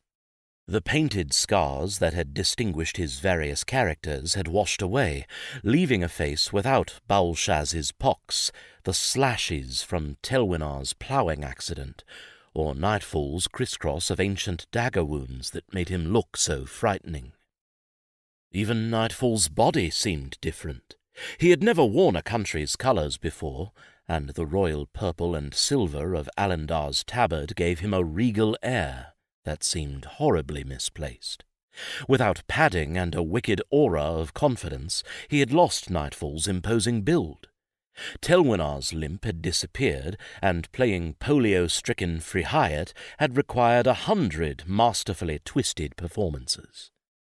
Though accustomed to a myriad of different appearances, Nightfall found the reality of Sudian Noman's son more striking and frightening than any alias. Without the scars, squints, affectations, and beard, he looked a decade younger than his thirty-four years, and as frail as the mother who had borne him. Stunted by starvation in his youth, he stood a hand's breadth shorter than most men, and never seemed to eat enough to pack weight onto his narrow frame. Long, silent stalks, chases, and escapes had endowed him with quickness and agility, but his mass-shifting skill had obviated the need for bulk. Only Nightfall's eyes seemed familiar to him. Feigned drooping lids, roving irises, and shaven lashes had not changed their colour, nor the striking resemblance to his mother's own. Crowded by sodden tangles of hair and a coiled, filthy beard, they had appeared more black. Now the openness of his face and the pallor of his skin accentuated their deep blue, lending him a dashing innocence that inspired a chuckle of amusement. Even my old friend Dyffrin would never recognize me. Thoughts of the sandy-haired father figure turned Nightfall's laugh into a smile. He could not help but consider the advice Dyffrin would have given him now. Don't think of it as doing the king a favour. He's done you one. By removing your identity, he's removed all your enemies. He's given you a chance at a new life and a noble cause. A noble cause indeed. Using my knowledge and experience to keep a spoiled fool alive. Faking loyalty to a child, pampered and admired for no better reason than his parentage, and with no understanding of human nature or the real world. Nightfall sighed the grin disappearing into a wash of bitterness. It bothered him to have a hand in gaining power for another noble, ignorant of his followers' needs, a leader who tended to politics and power, while his peasants suffered from hunger, disease, and violence. And to nightfall, Prince Edward seemed the worst kind of ruler, a crusader who championed causes he did not and could never understand in ways that accomplished nothing but death and an earful of moralistic raving. A week trapped in a castle room and daily sessions with Chancellor Gilleran, during which he learned general servant behaviour, had left Nightfall anxious to leave Alendar, despite the persistent pain of fading bruises and broken ribs only partially healed. He kept his weight low to assist the healing process, and resisted the urge to unlock the door and escape. The warning jangle of the oath bond made him certain he would not get far. Although temporary freedom, such as a nightly study of the castle hallways, would gain him information about its layout, and perhaps its rashly impulsive prince, it did not seem worth the risk. Hampered by mending wounds and ignorance, he dared not chance an encounter with Alendar's guardsmen now, in Sudian guise. Cooperation or at least its appearance, might gain him freedom. Causing trouble or ruining his disguise would seal his death. Nightfall glanced away from the mirror, turning his attention to the now familiar furnishings. A simple wooden table supported the mirror, a stiff bristled brush, a square hand mirror the size of his palm, and a bowl of water lay on the table's flat surface. A straw pallet filled one corner of the room, draped with a blanket. Nightfall's seat was the only other piece of furniture. A key rattled in the door lock in a pattern Nightfall recognized. Left, right, left, followed by a click as the tumblers fell into place. Gilleran. No one else had entered Nightfall's room since they had moved him from the dungeon after a private execution attended only by the king and his chancellor. Nevertheless, he scrutinized every sound, identifying patterns. Once certain of the other's identity, he rose, backstepped, and lowered his center of gravity. The oath bond would keep him from harming the sorcerer, but he still felt more comfortable in a fighting posture. The door swung open. Gilleran slipped inside, then closed the panel behind him. He wore tailored silks, in royal colours more vivid than Nightfall's linens, and he carried a staff decorated from head to base with carven fists. His frigid stare went straight to Nightfall, and a slight smile stirred the corners of his lips. Prepared for another lesson? Nightfall did not trust any of the customs Gilleran had taught, though so far they seemed logical. The sorcerer had every reason to sabotage his education. What I'm prepared to do is leave. I've wasted a week of my five months already. Ah, Gilleran slumped onto the chair, glancing at his own innocuous features in the mirror. Impatience has killed many men. So have I. Nightfall remained in position. But some things can't be avoided. He spoke with casual simplicity, but he doubted Gilleran missed the underlying threat. Gilleran loosed a grunt that might pass for laughter. He spun the staff, letting it strike his opposite palm. Avoided, maybe not, but detained? He grinned openly, not bothering to finish. The comment only emphasized what Nightfall had already surmised, that Gilleran wished to delay the task as long as possible in order to increase the chance of failure. The urge seized him to methodically slice the grin from Gilleran's face, but the first spark of such thought tightened the oath bond like a vice. Air seemed to leave the room, and pressure crushed in on him from every side. He dropped the image before the sensation could intensify from discomfort to pain, and he forced himself to take deep, calming breaths. The poke of healing ribs into his lung seemed accustomed and natural in the wake of the Oathbond's warning. Gilleran studied Nightfall's silence, demanding no response before speaking again. We can't send you off injured. It'd be cruel. You're still hurting. Suddenly he swung the staff for Nightfall's chest. Nightfall caught the staff and ducked beneath the attack. He jerked the weapon from Gilleran's hands, instinctively gathering momentum for a return strike. The oath bond caught him low, spearing red hot through his belly. He collapsed, dropping the staff. Wood thunked to the floor, rolling with a hollow clamour that seemed endless. Pain stole all thought of violence, then both waned to angry memory, leaving him only the background tingling of magic and the ache of old injuries incited by sudden motion and the fall. Nightfall staggered to an awkward crouch. Gilleran retrieved his staff, deliberately stomping on Nightfall's hand as he moved. I'd delight in staying to talk, but I mustn't be late for Edward's farewell banquet. Of course I'll have to let King Ricard know the prince's squire won't be fit for travel for another month. He turned his back on Nightfall deliberately, as if goading an attack. Nightfall ignored the challenge, rising with caution meant to appear cowed. His fingers throbbed, but he did not acknowledge the pain. He would not give Gilleran the satisfaction. Alendar's banquet hall buzzed with conversation. Seated at the head table, King Ricard hid annoyance behind an expressionless mask. It would not do to display discomfort to a roomful of Alendarian nobles and foreign dignitaries and ambassadors, but he could not keep his gaze from shifting repeatedly to the empty seat at his right hand. The guest of honour, Prince Edward Nargol, was inexcusably late to his own farewell celebration. Flowers from the courtyard gardens decorated the seven tables in a rainbow of colours.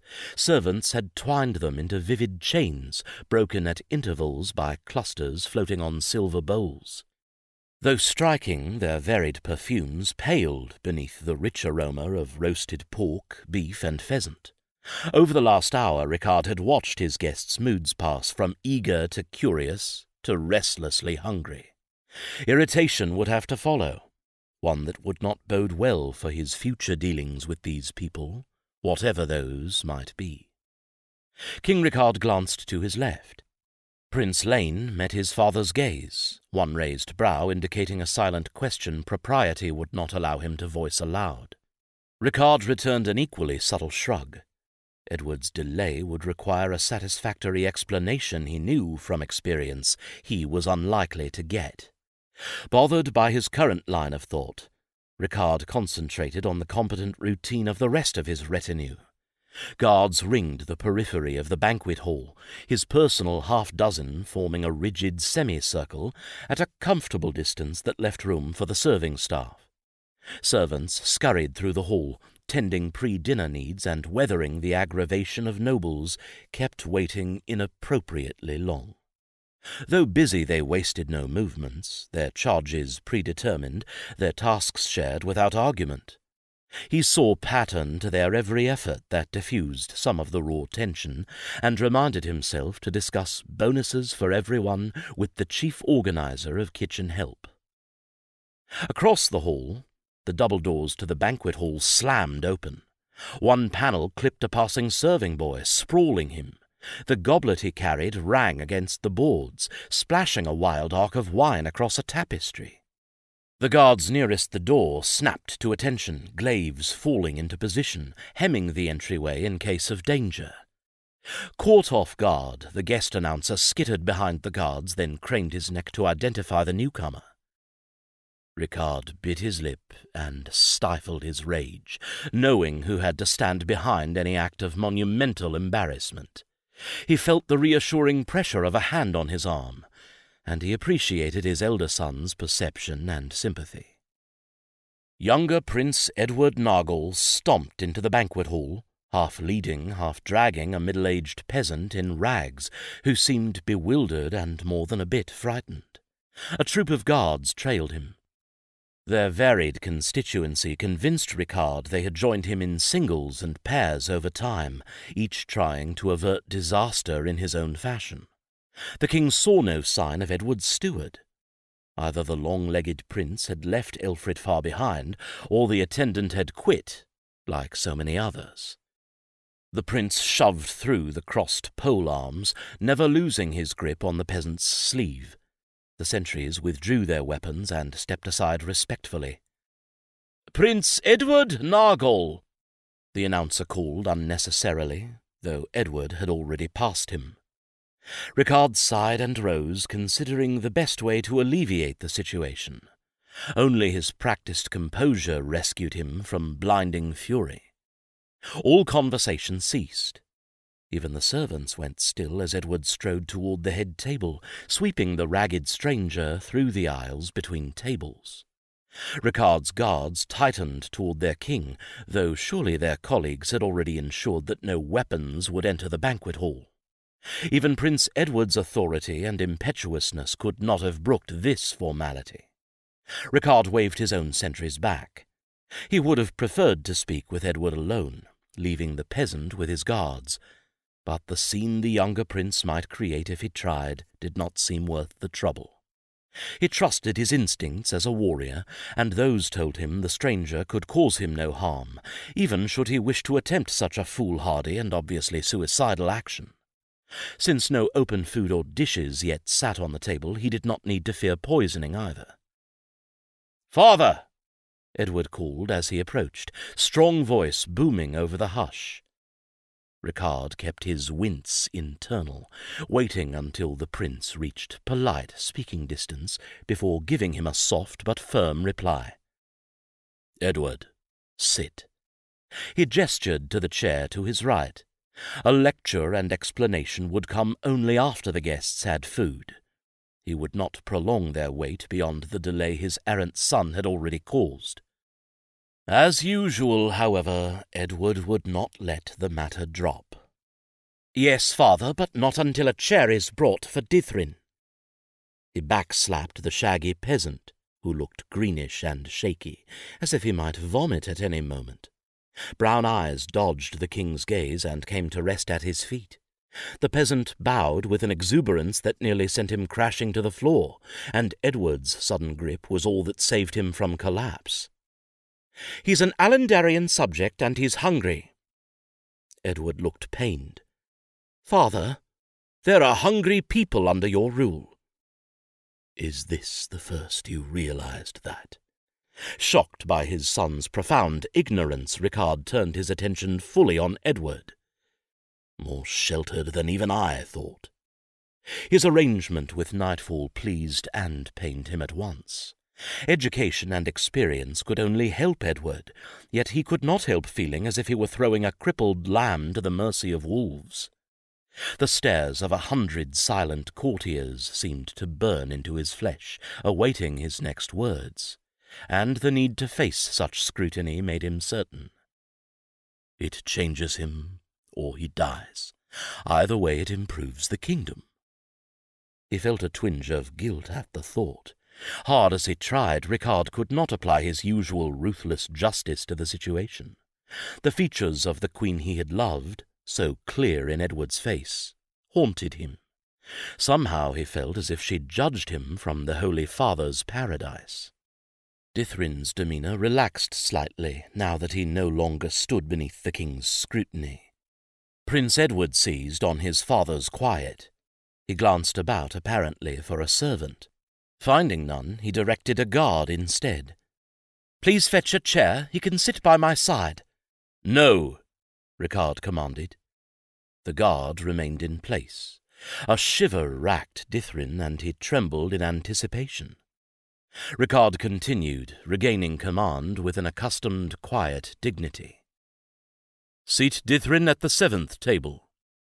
He pointed toward the gathering of non-titled folk, those of the lower class invited because of favours performed or distant ties of blood. And feed him as any guest. He turned his attention to his younger son, temper trickling free of his control.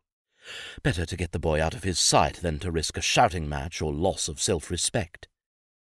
Ned, go to the Tower Chapel. We'll talk.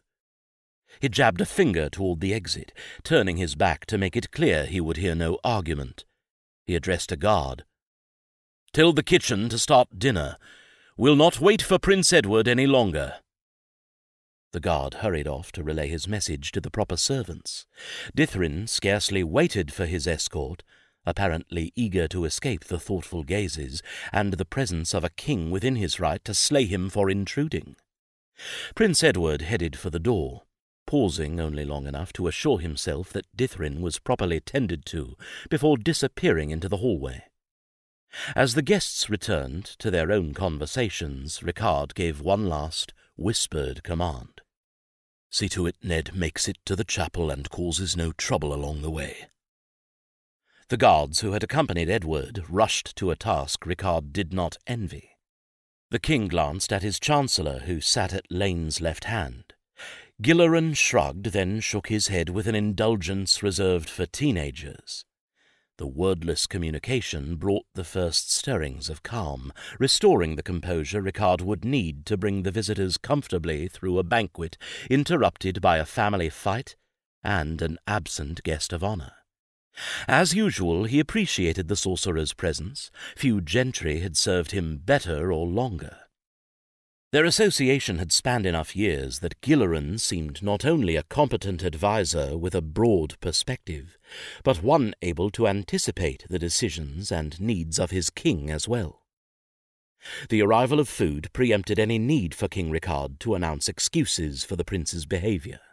Disgruntled impatience turned to contented exuberance as servants piled plates with steaming vegetables and meat. Ricard had only just taken his first mouthful when a servant addressed him from the place Edward would have occupied. Though so low no one else could hear, the voice startled the king. Apparently the servant had been standing there for quite some time, waiting for the king to acknowledge his presence. Wine, sire. King Ricard nodded without bothering to look. He heard the light splash of liquid filling his glass. Then the sound ended, but he still felt the man beside him. He took another mouthful of turnips, chewed and swallowed. The servant remained in place, his patience or sluggishness becoming an annoyance. Ricard surmised that the servant could not have paused as long as it seemed, or his guards would have interfered. He turned his attention to the wine server, his shrewd brown eyes meeting blue ones so dark they bordered on black. He had seen the face twice, but once so different he would never have credited it to the same man had he not had a hand in the transformation. Surprise tightened every muscle. His mouth fell open, and his eyes widened. Nightfall lowered and raised his head in a gracious nod. Mahogany hair spilled around his face, hiding his features. He had combed it across his forehead and straight to the sides, in a manner more suited to a young page, yet he managed to wear the style without appearing silly. King Ricard set his jaw, eyes narrowing, cursing himself for his lapse. There was a strategy to dealing with strong men, whether allies or enemies, and displaying astonishment did not bode well for maintaining an upper hand. What are you doing out? he hissed. I'm sorry, sire. Nightfall's tone did not match his words, the title spoken more from forbearance than respect.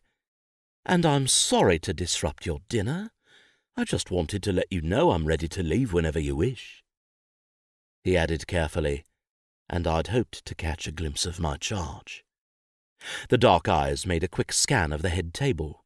He smiled briefly during the search, just about the time his gaze fell on Gilleran. Ricard remained steadily focused on Nightfall, locking his features into the blandest expression possible, though the precaution seemed ill-timed. He had already lost the advantage by allowing Nightfall's abrupt appearance to so obviously startle him. In his present state of mind, he would have preferred to send Edward out immediately, even despite the banquet. But to do so would not only violate etiquette, it would further tip the balance of mastery into Nightfall's favour. That idea irked him more than any of Edward's antics. What about your injuries? I've suffered worse, sire. King Ricard did not doubt the words, but Chancellor Gilleran had brought the news that Nightfall requested more healing time only an hour previously.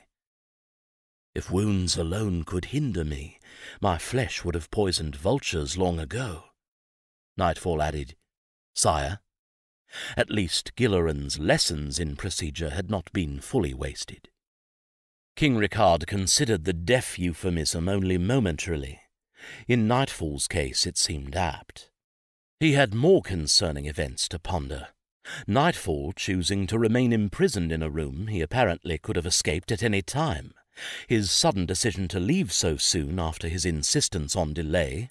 The unassuming mannerisms that had not yet raised the concerns of the guards against a servant tarrying overlong at the king's side. Trying to keep me off my guard with unpredictability. It seemed plausible. Chaos could unbalance any man. For the hundredth time, King Ricard worried about his arrangement, though not for long. Nothing remained to consider. Once Gilleran had cast the oath bond, the time for choices had ended, and only the fulfillment of the magic's constraints remained. Nightfall did not move, head lowered, a curtain of hair hiding his face and making him seem more harmless child than demon. The benign image unnerved the king more than the hostile glances they had exchanged in the dungeon. He cleared his throat, delaying to keep anything but command from entering his tone. Very well, then, if you go straight back to your room and stay there, I'll send an escort for you in the morning. Finally, he spotted the means to regain the edge in their unofficial spar for dominance. He raised the glass of wine Nightfall had just poured and took a long sip.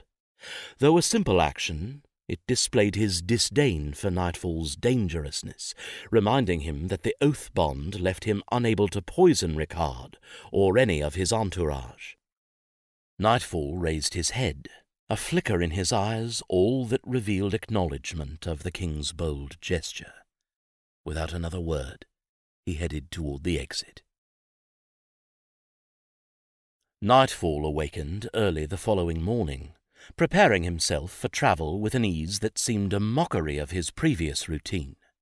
He searched the room for loose fixtures. King Ricard had promised to fully outfit him with travelling gear and weapons, but old habits would not die. His pockets, he knew, held several handkerchiefs and the sapphire ring he had stolen from Raven's captain. He knelt, examining the only chair.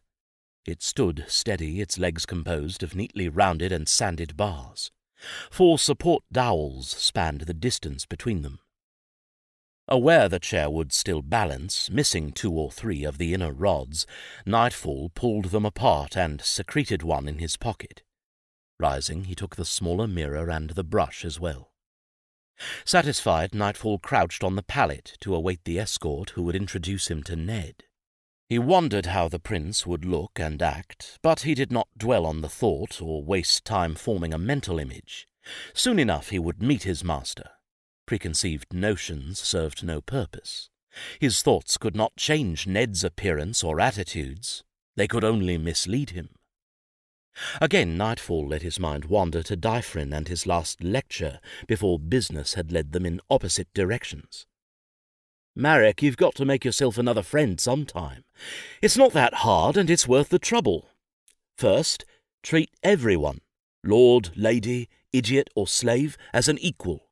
Power and knowledge live in unexpected places. Second, never lend your coppers, but give them freely.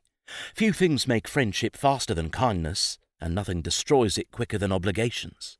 And lastly, never give a man reason to doubt your loyalty. I followed your advice, Dyffrin. I found a friend, and look where it got me. Nightfall lowered his head, mind suddenly filled with Kelryn's visage. His hands balled to fists, and the vision disappeared beneath a red veil of rage. Befriending her cost me my freedom, my dignity, decades of perfecting identities, nearly my life, and possibly my soul. Trusting in no one had spared Nightfall the pain that his mother had inflicted through his childhood, the mixed messages of love and brutality, the compliments that in the same breath twisted into belittling insults and shouted obscenities. Loyalty unreturned is only service. Money unreturned is simply stolen. And I'll treat a man as an equal the day he outwits me. Anyone who can't is nothing more than a victim waiting to be parted from his riches. A smile touched his lips, every bit as cruel as Chancellor Gilleran's. Whatever else I accomplish in my five months of freedom, I will make Kelryn regret her betrayal.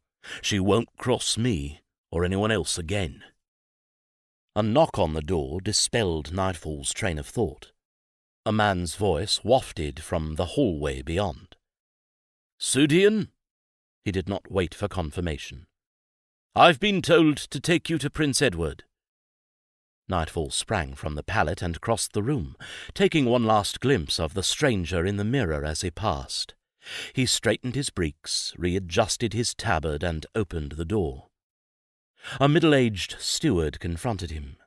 The man's dark eyes rolled downward as he glanced over his charge, then returned to Nightfall's face. His chin tilted upward, his disdain tangible. He was obviously unimpressed with what he saw.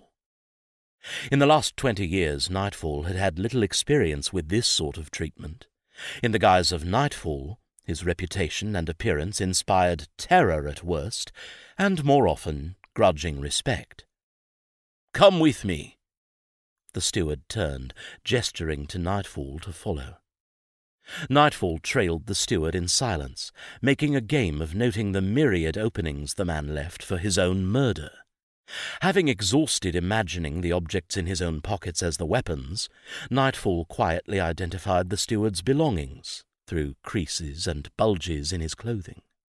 When the steward paused beneath an ornate chandelier, the support for which spanned the wall near Nightfall's hand, the oath-bonded squire found suppressing his laughter all but impossible. And by the time they exited into the courtyard, Nightfall had relieved his guide of two pocket knives, a pouch of silver, a tinder box, his wedding band, and a candle moulded in the shape of a frog. Nightfall was just considering removing the man's vest without his knowledge when the doors swung open, and the activity in the king's courtyard seized his attention. The oath bond seemed to shudder, aching within him. Men in servants' livery scurried between three horses, heaping packs and objects onto a rangy dark chestnut and a sturdy bay mare. The third horse, a white gelding, carried only one bundle behind its jewelled saddle. It pawed the ground repeatedly, tossing its head in sudden bursts that sent the groom clutching its halter into a staggering dance. Nightfall disliked the pale riding horse at once. Like many animals chosen for beauty, it had few manners, and its beacon colouring and grandeur would preclude evasive actions and draw the eye of every highwayman. Might just as well paint I'm wealthy, please rob me across its side. Another thought surfaced. That'd actually be safer. Most bandits can't read. Several paces from the activity, King Ricard stood amid a half-dozen nobles. Beside him, Chancellor Gilleran watched the bustle, with his arms folded across his chest, his face its usual empty mask. One broad-shouldered youth wore a mail hauberk and leather leggings beneath a meticulously pressed purple surcoat and a silver cape. A broadsword graced his belt. A helmet dangled from one gloved hand. Golden hair covered his head, sheening white, every lock neatly combed and tended. Round pink cheeks betrayed him as a teenager, yet his thick frame bore no trace of adolescent gawkiness. Still, trained to notice subtleties, Nightfall recognized a mild tremor of excitement and an uncertainty to the youngster's motions that would smooth with age and experience. Only the straight line of a healing scar across the prince's face marred the picture. The other three nobles were strangers to Nightfall. King Ricard glanced in Nightfall's direction. A welcoming smile flashed across his features, and disappeared before he turned to the youth in mail and said something Nightfall could not hear. King and Prince looked toward him together. Breaking from the group, they headed in his direction. Ricard's face held an expression of discomfort and warning. Idly, Nightfall wondered whether the king anticipated trouble from Edward or himself, and dismissed the thought as unimportant. Magic seemed to tingle and churn within him, as real as the shouted commands and scattered conversations around him. In the king's presence, Nightfall had no choice but to endear himself to Prince Edward. As the nobleman approached, Nightfall dropped to one knee and lowered his head. Later he could search for loopholes in the oath bond. For now it seemed safest to obey it to the letter, if only to convince the king. King Ricard drew Edward to a halt before nightfall. Rise, the king said.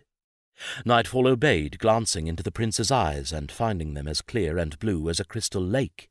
Righteous innocence fairly radiated from him. Accustomed to winning stare-downs in seconds, Nightfall lowered his gaze respectfully before the prince could look away. Ned, Ricard's voice boomed. This is your squire, Sudian. The crowd of servants and nobles lapsed into whispers.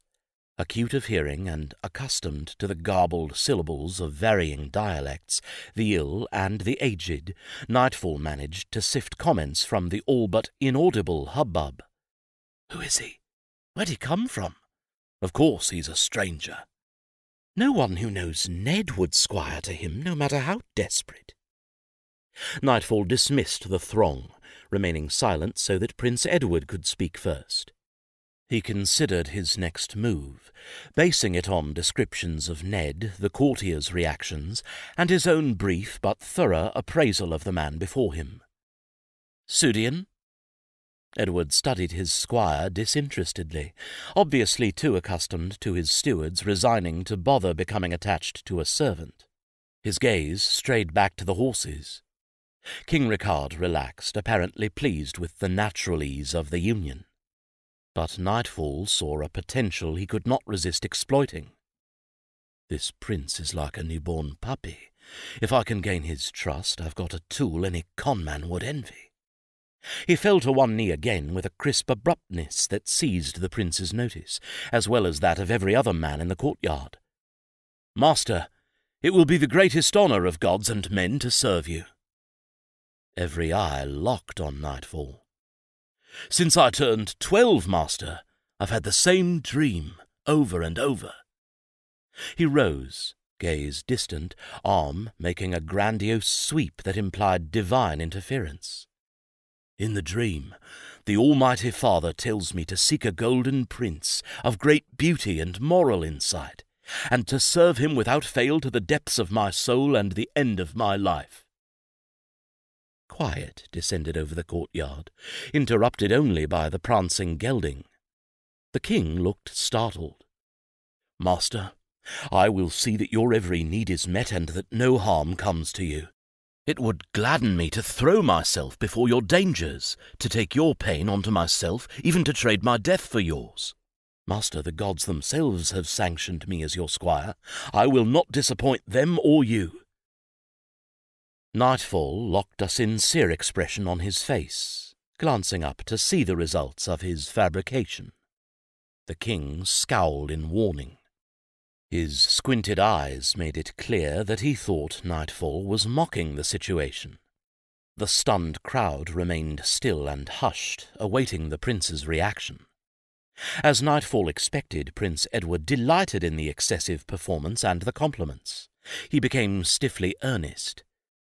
Sudian, your presence at my side will be welcome. Should your loyalty prove as fierce as your desire to give it, you will be handsomely rewarded.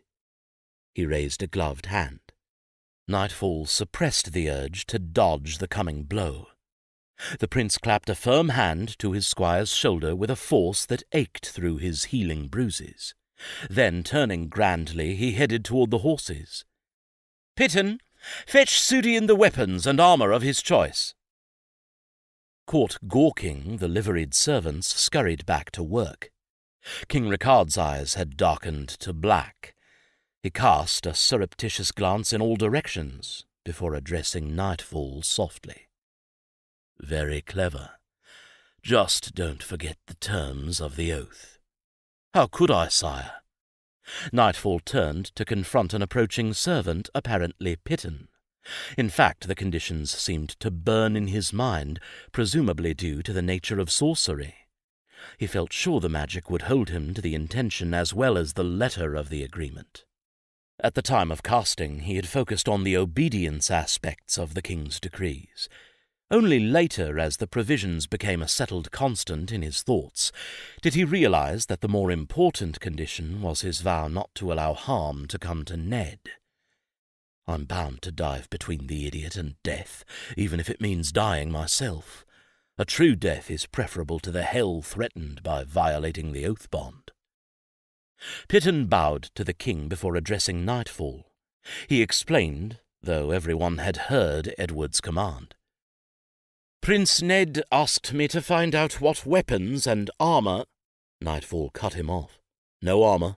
I'll take a sword, something sharp but not too bulky, and as many well balanced knives as you can spare.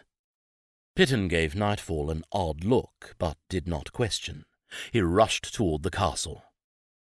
The discussion of weapons reminded Nightfall where he might find the finest daggers in Alendar. A split-second glance at King Ricard confirmed that the king carried three knives on his belt. Taking a natural half-step closer, Nightfall relieved Ricard of the blades, pleased to discover they were the ones he, as Marek, had carried on Raven. Unable to resist the challenge, he acquired a few extra items from the king's person. As a grizzled servant lashed a spade to the top of the chestnut's packs, Prince Edward clambered into the white charger's saddle. Sudian, mount up. That one's yours. He pointed at the heavily laden bay mare that Nightfall had taken for a pack horse. Nightfall took a step toward the horses, arrested by the king's hand on his arm. Here, the king whispered. You might as well have these. His hand fell to his sword belt. They're unadorned, so no one could recognize. He trailed off, his hand patting his hip. He stared at the place where the knives had hung. I have them, sire, Nightfall admitted, keeping the smirk of amusement from his face. Ricard growled. Not wishing to further enrage the king, Nightfall reached into his pocket and returned a misstamped gold coin, a writ from a Briggian merchant, and the king's signet ring. King Ricard's face shifted through an array of reds to settle on a purple nearly as royal as Nightfall's tabard. It's not too late to execute you, he hissed. Sudian, Prince Edward called. He gestured to the bay with a jabbing flourish. Nightfall smiled. With all respect, your majesty, I think it just might be. He trotted toward the bay, Accustomed to fast mountings on bare-backed horses, he lowered his weight and leapt into the saddle without bothering to use a stirrup. He took the reins into calloused fists. Shortly, Pittern approached with the sword and half a dozen daggers. Nightfall thought he heard the king swear. Prince Edward Nargol perched upon his snow-white gelding, his head high, blonde hair flying in the breeze of its movements. His beauty and regal bearing made him look like a living sculpture, Only patches and rivulets of sweat ruined the image. A chance to see the world, a chance to experience the lives of a thousand strangers, a chance to teach them. Riding at his side through evergreen forest, Nightfall let the legend of Nightfall run endlessly through his mind, the familiar tedium of the nursery rhyme distracting him from Edward's idealistic ramblings. As the day wore on, the white gelding had become docile with fatigue. Overburdened, Nightfall's bay and the pack horse had begun to stumble, each misstep jarring pain through his healing wounds and further darkening his temper. The stretches of sky visible between the trees dulled to pewter and lengthened as the forest became more sparse and clearings more plentiful. Hunger descended on Nightfall, tearing at his guts. Sleep, he thought. Sleep would feel almost as good as food. He became suddenly intensely aware of Prince Edward's stare upon him. Do you think, Sudian? The prince shook back his sweat-tangled locks, his silks now damp and spotted with dirt and pine needles. Having heard only the last four words, Nightfall answered the only question he could. Yes, master, I do. Prince Edward accepted the response. Very good. He reined his horse, clambering from the saddle. As he landed, his knees buckled and he crashed to the ground. Obviously not used to riding for hours. His own knees aching, Nightfall sprang from his bay, turning a laugh into a cough. He ran to Edward's side, reaching out a hand to help the prince to his feet. Master! Despite the humour of the situation, he managed to sound concerned. Are you hurt? No, no, I'm fine. Edward accepted Nightfall's support, throwing his weight onto the smaller man as he rose. An abrupt increase in mass spared Nightfall a tumble, and he eased Prince Edward and twenty pounds of male hauberk to his feet. I just need to walk around a bit. He paced a careful circle, Nightfall hovering over his every step. Prince Edward whirled. Finding himself nearly on top of Nightfall, he backstepped. Sudian, I said I'm fine. He winced, the abrupt movement apparently sparking pain through overtaxed muscles. Unload the horses and see what you can make for supper. I'll start on the camp. Nightfall nodded, turning to obey, though he did not understand the division. If I unload the horses and cook, what does that leave as camp for him to start on? Though accustomed to action and pushing himself to the limit, Nightfall could feel his thighs and buttocks stiffening from the ride. Movement had worked the kinks from his knees. Though he still hurt from bruises and the familiar jab of healing ribs into his lung, he knew tomorrow morning would bring an aching agony of cramped muscles. Combat training or none, Ned's going to feel even worse. He stripped off the white horse's bridle and unlaced its pack. Hefting the bundle, he staggered under its weight, managing a single step before the pack plummeted to the ground amid a muffled clamour of clothes and armour. Anticipating Edward's rage at the manhandling of his personal effects, Nightfall glanced toward the prince, who seemed too engrossed in freeing the spade from the top of the bay mare's load to notice his squire's mistake. Step one lighten the load. Nightfall dragged the bundle aside, pitying the horses. He's packed for a plague-damned army. Having obtained his spade, Edward set to work digging. Nightfall continued, pulling pack after monstrous pack from the backs of the chestnut and his own bay.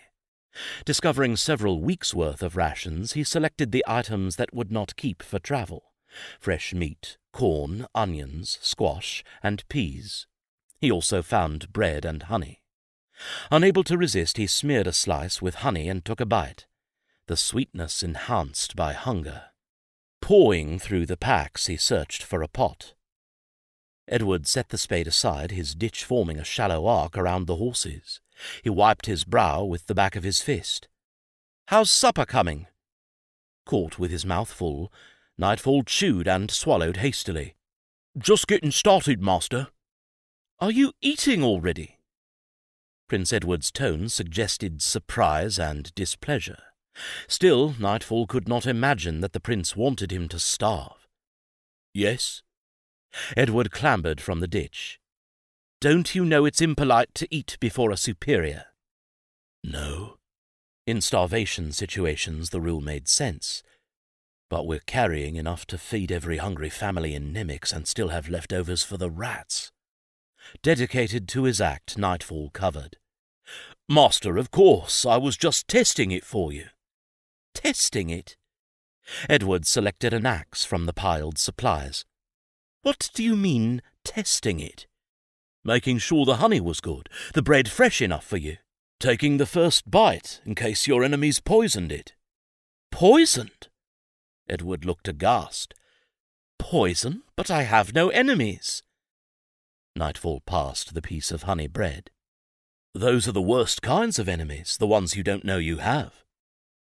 Prince Edward stared at the bread and its semicircular defect, crenellated with Nightfall's teeth marks. But my father's own men packed this food, and it's been on our person since then.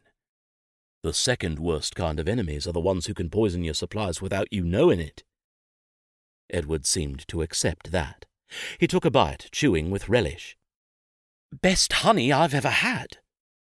Nightfall nodded agreement. He had never eaten better, but he suspected that in Ned's case, hunger had more to do with the superlative than quality.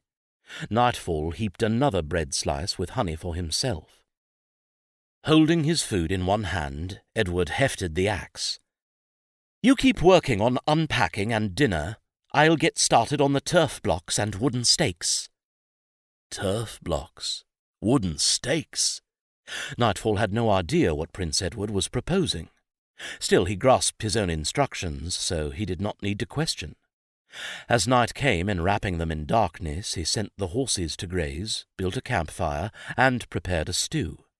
He followed Edward by the thunk of his axe into wood, the discomforting crack of a trunk's last supports breaking, and the swish and slam of lower trees and branches snapping beneath its fall. Then Edward hacked and shaped each trunk, over time acquiring a neat pile of stakes. Nightfall waited until the prince headed off to acquire another tree, swiping a handful of the fashioned timbers for firewood. The prince's stamina, after a full day's ride, surprised Nightfall. While the stew thickened and the night darkened to pitch speckled with white stars, he sorted their gear into a tiny pile of necessities and useful items, a voluminous stack of extraneous niceties that had to go, and Edward's personal items, consisting mostly of battle armor and far too many clothes. Now equipped with daggers and sword, Nightfall ditched the chair dowel he had taken in Alendar's castle. He tossed the flammable items from the superfluous pile onto the fire then he drew two logs near the flames to serve as seats. Ned's stack of sharpened poles grew. Finally, running out of ways to amuse himself, Nightfall plucked wooden bowls and spoons from the useful pile, repacked the items according to his new system, and ladled stew into the dishes. Master, supper's ready. Nightfall wandered over and sat on a log. The firelight glittered from beads of perspiration on his forehead, and sweat trickled along his nose. Exertion flushed his cheeks. Branches had gouged rents in his silks where they poked from beneath the hauberk. Evergreen needles decorated his hair, and he smelled of pine tar and bark. He accepted the stew bowl eagerly. Rising, he rolled his log away from the fire's heat. Maintaining consistency, Nightfall took the first spoonful. Meat more tender than any he had ever tasted slid warmly into his pinched and rumbling gut. It seems safe, he said with all seriousness. Prince Edward started to say something, presumably to mention that poisons did not act that quickly. Then, apparently recalling that he had just argued against the possibility of sabotage at all, and too hungry to worry about details, he ate. For some time dinner took precedence over conversation. Then, contentedly full, Nightfall pushed his first bowl aside while Prince Edward was still devouring his second helping. The squire stared at rows of lumber and the partially finished ditch, watching moonlight glimmer from the spade and the axe's blade. Unable to contain curiosity any longer, he phrased the question as respectfully as he could manage. Master, what are we going to do with the sticks? Prince Edward stared at his squire as if Nightfall had asked the stupidest question ever uttered. Build the camp, of course. Nightfall glanced from the logs around the roaring campfire to the horses contentedly grazing on leaves, brown vines, and new young grass shoots, to the neatly sorted packs. It was already the largest, most comfortable camp he had ever seen. Forgive my ignorance, master, but why do we need carved wood to build the camp? The question of how long it would take seemed infinitely more important, but he saw no tactful way to ask it. Besides, the answer should become obvious once he understood the prince's intentions. If Prince Edward planned another ride like yesterday, they would need more than half a night of rest. Prince Edward politely swallowed his mouthful of stew before replying. For the fences and the palisade. Obviously, Nightfall's surprise showed clearly, because Edward continued explaining. I learned how to build a strong defensive camp from my lessons. I'll teach you. Nightfall suppressed a groan.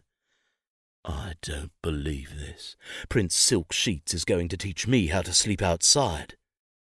Then realization struck him. His lessons his history lessons, his how to be a war general lessons. By the father's crown, he's building a pissing fortress. The image of a towering buttress filled his mind, along with the weeks of hard labour it would cost for two men to erect it. The picture threw him over the edge. No longer able to restrain his amusement, he broke into a raging torrent of laughter. What's so funny? The sombreness of the prince's tone only tripled the humour. Nightfall howled. What's so funny? Edward demanded, his voice breaking as he started to chuckle himself. Within seconds they were both laughing hard enough to burst. Every few moments, Edward caught his breath to ask the source of the laughter again, and each time the question began a new wave of mirth. Finally they both sat, gasping beneath the moonlight. A long time had passed since Nightfall had laughed, except with cruel satisfaction in the wake of an enemy's death. Despite the pain in his lungs and exhaustion, he felt good. The pause gave Edward the time he needed to fully regain his composure. Sudian, why are we laughing? At you, you ridiculous simpleton. We're laughing at you. Nightfall passed up the straight line. Master, we're both overtired to giddiness. As much as it pains me to leave work undone, it might be best if we both got some sleep. Without defences, and let something attack us in the night? Nightfall wondered what Prince Edward would think if he knew his squire was the most horrible and dangerous thing in the forest. Master, what good are defences if we're too tired to fight? Edward's eyes narrowed. All humour left him. Sudian, are you questioning me? Nightfall stared, annoyed by the malice in his prince's tone. Master, are you asking me if I asked you a question? Now Edward seemed startled. I'm pointing out that you're questioning my judgment. Is that a crime in Alendar? Yes. Edward retrieved his bowl of stew. Well, no, not a crime, actually. He gripped the bowl, fingers white with frustration. It's considered rude. You're a servant. You can't just run around questioning nobles' judgments. Master, I don't understand. Nightfall adopted a wide-eyed, innocent look. My loyalty is to your welfare. If I see you making a decision I think might hurt you, I should say nothing. The prince chewed another mouthful of stew, swallowing before replying. You have to trust that I see things you don't. Master, I trust you. I trust you more than anyone. And if you believe that, you galley-clod, you're even stupider and more naive than I thought. Edward softened. Very well, Sudian. I appreciate your loyalty, and you do look tired. Why don't you get some sleep? I'll take first watch. Master, thank you. Nightfall managed to turn his back before the smile overtook his face. Curling on his side in the clearing, he fell asleep almost instantly. A movement awakened Nightfall. He opened his eyes to the darkness of wee morning, and an exhausted Prince Edward headed in his direction. Beyond the campfire, the prince had gathered a pile of pine needles to serve as a bed. Ah, Sudian, you're awake. It's your turn to take watch. Can you handle it? Nightfall sat up quickly, giving an enthusiastic gesture of respect. Master, I'm alert and ready for anything. Very good. Prince Edward sprawled across his makeshift bed, turning his back to his squire. In thirty-four years, nothing has ever approached without waking me from the soundest sleep. Nightfall lowered his head, curling back into a ball on the ground. You could have spared yourself the watch. I'm more wary in my sleep than you are awake. He waited until Prince Edward's gentle snores wafted across the camp, memorized the normalcy of its sound and the layout of the clearing, then swiftly returned to sleep. Nightfall awakened to the numbing chill of sunrise. He sat up, curling a leg to his chest, and a soreness in his inner thighs and buttocks reminded him of yesterday's ride. The pain brought a familiar satisfaction. In his years as Etan the labourer, stiffness at sunrise always followed a day of noteworthy accomplishment. But this morning it only means I've got a fool for a master, one who doesn't know when to ride and when to rest. Nightfall sighed, glancing around the camp. The fire had burned to piled charcoal splattered with a few red coals. Prince Edward lay on his back beneath a blanket with one arm thrown across his forehead. Nightfall had often heard that people looked innocent in sleep, and he found it fascinating to think that Edward could appear more guileless than he did awake. If he became any purer, I'd have to diaper him. Not quite ready to rise for the day, Nightfall stared between the trees. Early sunlight reddened the gaps between branches, filling the sky with waving patches of scarlet, green, and grey. He crouched, watching the colours change as the sun inched upward, the tatters of sky between needled branches diffused to pink. Oddly, of all his personae, it was Nightfall himself who liked to watch the dawn. He recalled nights in his childhood when his mother or her client had barred him from the room, and he had hidden from the world and its dangers between the wheat stalks of a farmer's field. He would awaken to sunrise, creeping over a billowing sea of gold, mesmerized by the rainbow parade that preceded the sun. Legends spoke of the seven sisters on horseback towing the burning chariot across the sky, chasing night's demons over the world's edge and back into their hell. The young Nightfall would pretend that the Twilight Beauty was the sisters' gift to him, that one day they would carry him across the horizon to a land where bowls of food sprang from the ground, where summer stayed all year round, and where the same man slept in a woman's bed every night. The sisters would all be his mothers, playfully arguing over which loved him more, though he loved them all the same. The pinkness faded, intertwined with, then replaced by, a pale blue-white expanse backlit by yellow. Standing, he chuckled faintly at the reverie. Back in the days when I was as unenlightened as my master, he glanced at Prince Edward, watching the youth twist in his sleep, tangling himself into the blankets. Shaking his head at the spectacle, Nightfall amended. No, I think I was born more worldly than he is now. Trotting to the pile of wooden stakes, he collected a handful and tossed them on the coals. Smoke poured from beneath one of the logs, then trickled into oblivion. Leaving the coals to smoulder against fresh wood, Nightfall prepared a breakfast of bread, cheese, and fruit, leaving it in place for Edward's awakening. Then, quietly sating his hunger on a slice of bread and a handful of winter berries, he finished preparing the packs for travel. The horses stood in a row, alternating head to tail, swatting flies on one another's faces. Still disliking the beacon whiteness of Ned's gelding, Nightfall considered driving it away, but that would mean piling its share of the load onto the other two already overburdened horses. He combed the tangles from his red-brown hair, then set to grooming the mounts. By the time Prince Edward awakened, all trace of dawn had left the sky. The fire flickered orange and gold over logs no longer recognizable as stakes. Nightfall had washed and shaven, the latter action taking the place of the ritual disguising that had grown so familiar over the years. He appreciated the time saved, though his face felt cold and his identity nakedly vulnerable. Despite years of perfecting his agility and sense of touch, he had only shaved a few times and appreciated the hand mirror he had taken from the palace. For clothing, the king had granted him only tunics, tabards, and breeks in Alendar's colours, apparently to remind him of his duty to Edward. As if this ceaseless grind of magic would let me forget. Edward disentangled himself from the blankets. Good morning, Sudian.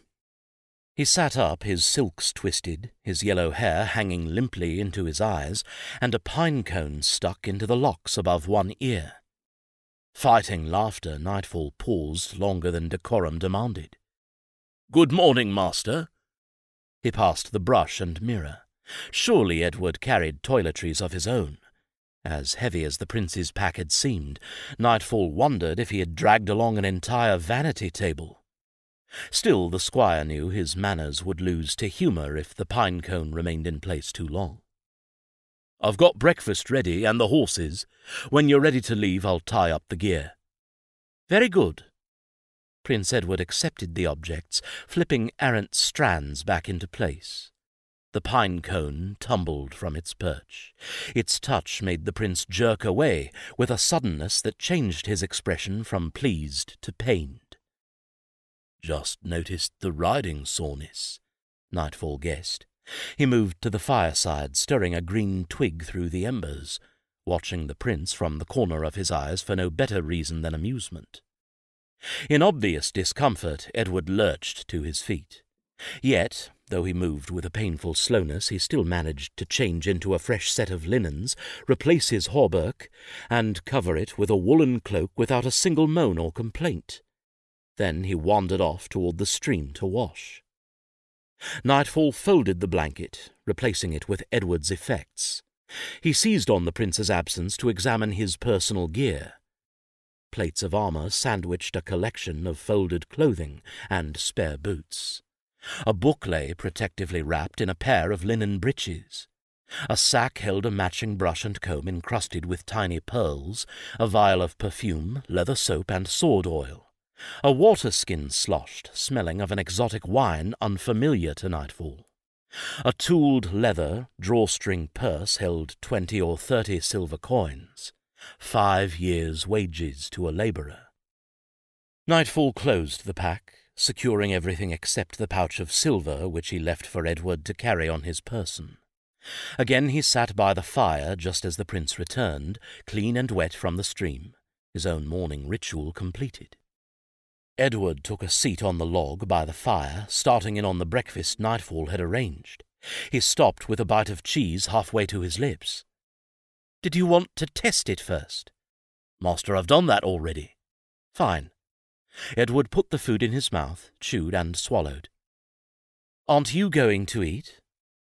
Thinking it wiser not to confess that he had already done so, Nightfall accepted an apple and munched slowly.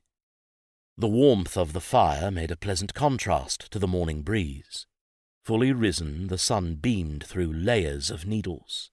Comfortably full of rich bread and fruit, and reasonably well rested, Nightfall felt content. Perhaps the king did do me a favour. The thought raised a sudden goading stab from the oath bond. Now all I have to do is figure out a way to get this child some land. Aware Edward did not like being questioned, Nightfall turned his query into a statement. I was wondering where we were headed. Edward tore a chunk from his bread, kneading it between his fingers. East, he said. We're headed east. Since Alendar occupied the westernmost tip of the Orkneys Peninsula, the direction seemed obvious. Oh, well, I was just wondering if we had a certain place in mind. A city? A barony? No. Edward clutched his bread, his gaze becoming distant. We'll go where the winds take us, spreading goodness where we can, enlightening the ignorant to the Father's greatness, to the dignity and worth of all men and women. Nightfall rolled his eyes. What star are you from? I thought our mission was to get you landed. That's secondary. Edward put the bread into his mouth. To you, maybe. Nightfall was beginning to remember why the king's oath bond was anything but a favour. Ned, would it save you any trouble if I just went mad right now? Master, forgive my ignorance, but I always thought a king's son was given land. Prince Edward swallowed. My brother Lane is the crown prince. He inherits everything. That's more land than any one man can handle. Can't he share? That's not how it's done. Oh. The ways of royalty made little sense. To have so much, yet still not enough for his brother. Nightfall understood that men's greed and covetousness expanded to cover all that they had, apparently no matter whether it was a crumb or a kingdom. My mother always planned for me to become part of Lane's household as a scholar, but father believes I should prove myself worthy by winning land of my own. Prince Edward rose, holding the bread slice in one hand and drawing his sword with the other. Nightfall skittered out of the way. Caught up in his own heroics, Edward no longer seemed to notice his squire. He raised the blade in a salute to the gods. And I would have it no other way. The kingdom of Alendar has many brilliant thinkers, father's wisdom and Lane's talent with words and weapons. Somewhere, he gestured with the sword to indicate the world, out there is a kingdom, a barony, perhaps only a village, that needs a leader like me. Nightfall crouched, heart still pounding from the prince's sudden lunge with a drawn blade. You mean, I presume, a kingdom starved for buffoonery? Prince Edward sat, returning his attention to his bread. Sudian, prepare my destrier. At once, master. As soon as I figure out what in hell's confines is a destrier. Nightfall traced Edward's gaze to the grazing horses. Ah. Quickly Nightfall set to work, saddling and bridling the white and the bay, then lashing Edward's personal gear to the rump of his riding gelding. He tied the pack full of necessities to his own bay. Then he placed the remaining weighty trinkets onto the chestnut, binding them haphazardly in the hope that they would disappear during the ride. He tied the spade on the top of the chestnut's gear. With all this equipment, we couldn't outrun a pregnant turtle. Checking the spade's binding one more time, he loosened it and turned back to the prince. Ready, master, he said. Unwilling to trust the whims of the wind, Nightfall unobtrusively steered Prince Edward toward Nemix, the first large city in the area, and one in which he had a strong chain of contacts. The maneuver proved easier than he ever expected. Caught up in the scenery and his own grandiose ideals, Edward did not seem to notice when they detoured past the villages of Quant and Rankel, nor when the spade slid from the top of the chestnut's stack and tumbled to the dirt. Quietly, Nightfall edged them from one set of trails to the other, traversing one of many familiar routes from Alendar to Nemix. At this rate, we may get to Nemix before dusk. At least the bruises and stiffness from the previous day taught Edward something. He made frequent stops to eat and urinate, using each to work the kinks from his muscles or search the heavens for information about time and direction. At each stop, Nightfall unobtrusively jettisoned a few more objects from the unnecessary items packs, tossing them deep into the woods to keep from leaving a trail of gear and niceties for footpads to follow. Late morning, a rustling in the tall brush by the roadside caught Nightfall's eye. Weed tops bowed and danced, revealing something's winding, awkward path. A muffled groan sifted through the grasses, nearly lost beneath the rattle of stalks and the clop of hoofs on roadway. He reined back, then threaded behind Edward to interpose himself between prince and unidentified creature, hoping to manage a close but unobtrusive look. He wanted to determine the best course of action, ignore or intervene, before Edward discovered the presence and made the decision for them. Before Nightfall could swing his bay fully around, the white gelding jarred to a sudden stop. Its head jerked to the stirring weeds, and its ears swiveled forward into nervous triangles. Edward tapped the gelding with his heels. When that failed, he kicked with the angry impatience of one accustomed to having orders obeyed swiftly. The horse paid no heed to the drumming on its sides, attention still riveted. A moment, master, no longer able to avoid the situation, Nightfall dismounted and approached the roadside. Delicately, alert for ambush, he parted the weeds. A man rolled in the ditch, wrists and ankles trussed and his cloak pulled over his head. He wore leather breeks and a well-fitting tunic with fringe. The needlework at the collar suggested wealth, and the supple skin of his palms and fingers made it clear he did not toil or fight for a living. Nightfall took his cues from other details. White striped the base of each fourth finger. Apparently he had worn rings until recently. A tunic pocket hung, torn and turned inside out. Starting bruises mottled the skin of his arms. Oh dear, Edward said. Nightfall hauled the cloak free, revealing an angular face fringed with tangled, honey-coloured hair and a neatly trimmed beard. A grimy wad of cloth filled the stranger's mouth, and he stared at Nightfall with brown eyes that seemed relieved and angered at once. The man grunted. Nightfall seized an edge of the gag, then hauled it from the stranger's mouth. It unwound into a sodden ribbon. The man spat the remainder free. Robbed and attacked. Five men. They took everything.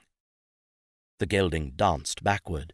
Edward tugged at the reins to regain control. When? The man sat, raising his arms for nightfall to cut the bonds. Moments ago. They rode that way. He inclined his head in the direction they had been travelling. Overheard one of the dirty bastards say they were headed for Nemix. He gazed up at Edward. Apparently noticing the royal garb for the first time, he added, Noble sir, they took. Prince Edward did not wait to hear more. He jerked the gelding's head about, then slapped the end of the reins across its rump. The horse surged forward, galloping in the direction the man had indicated. Nightfall swore, dashing from the ditch to his horse in an instant. He ignored the shouts of the still bound man behind him. Surely Edward wouldn't attack five highwaymen alone.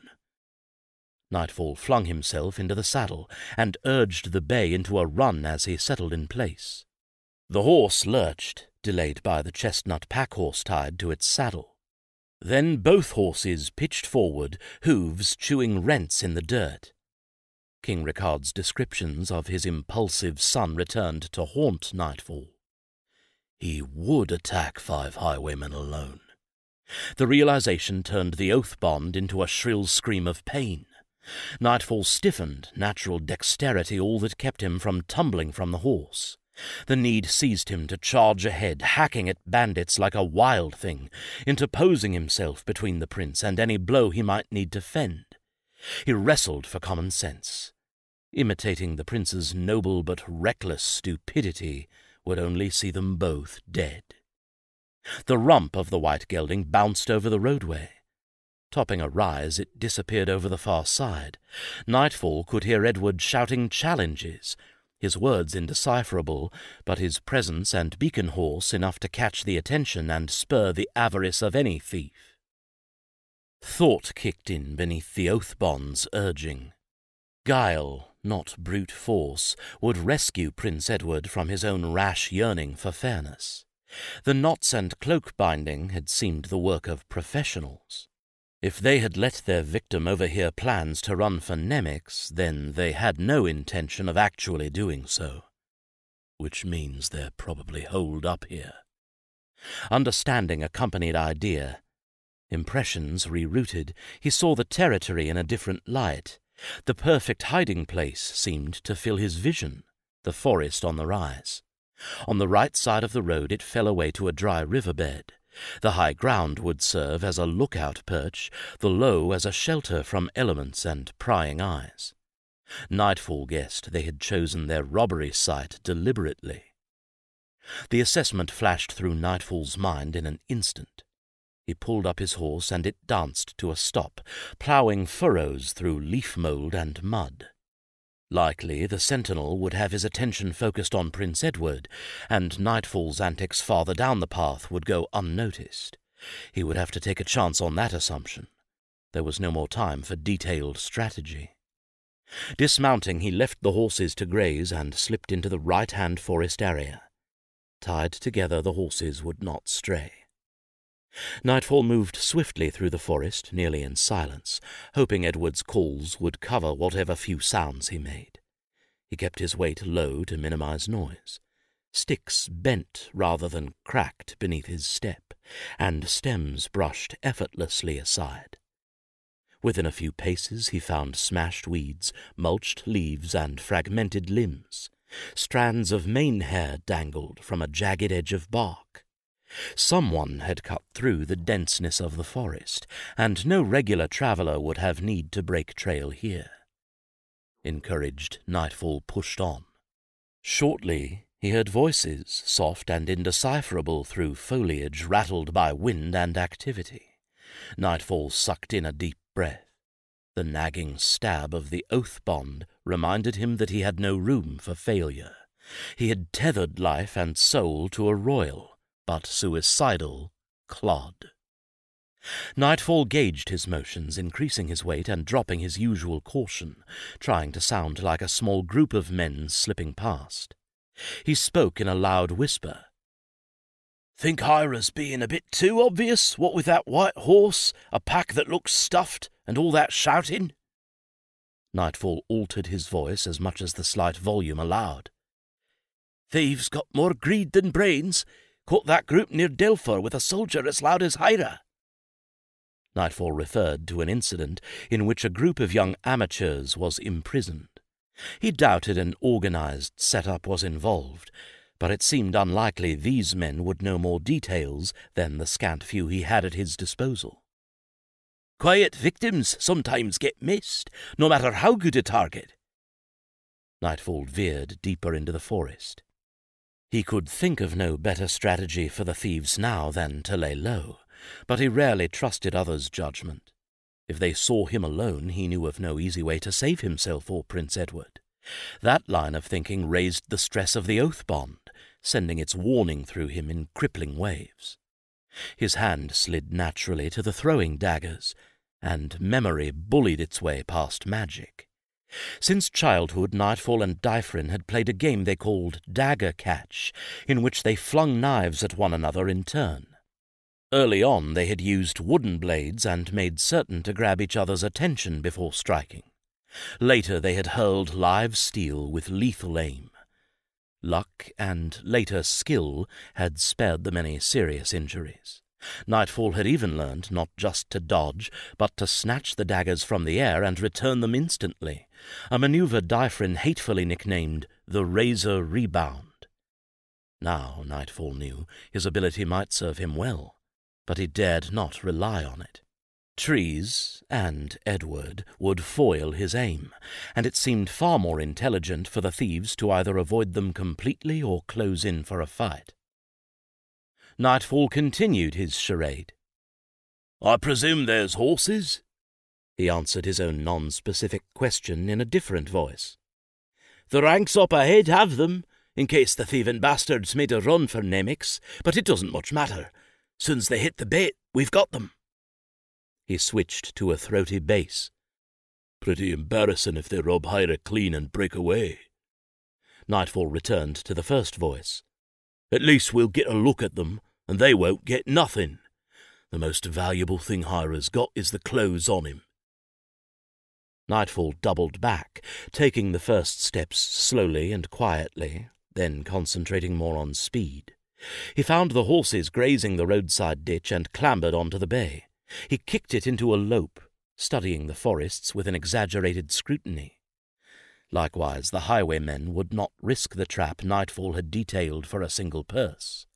If he stayed calm and followed Edward at a cautious distance, they would take him for a member of the hunt. The ruse brought Nightfall safely past the hidden thieves. He caught up with Edward by midday. Apparently the prince had stopped his mount to wait for his squire. Sweat sheened the prince's forehead, and foam bubbled along his horse's coat. Ah, there you are, Sudian. Afraid I'd lost you. Edward glanced up the pathway, apparently planning to continue the chase. Though eager to reach Nemex, Nightfall believed it wiser to cool his charger's ire first. A calm, leisurely journey, with no hope of catching criminals or dealing justice, seemed just the trick. I'm sorry, master. My horse came up lame. He reined to a full stop, though Edward frowned in irritation. I pulled a sharp stone from the left forehoof. It's just a bruise, but it could turn into worse if we keep this pace. Surely Edward had never cleaned a hoof in his life, yet he had apparently learnt enough from books and tutors to understand the danger. A single unsound hoof rendered a horse useless. Do we need to camp? he asked, with obvious reluctance.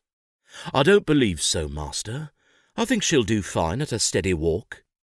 And that still ought to get us to beer and shelter by sunset. Prince Edward patted his gelding's withers, drawing back a hand sticky with foam. They could all use a rest, I suppose. We'll never catch those thieves now. We'll just have to ride back and ask the stranger to describe them, so we can turn in their descriptions to the constabulary in Nemex. Turn back? Shocked, Nightfall did not have an immediate reply.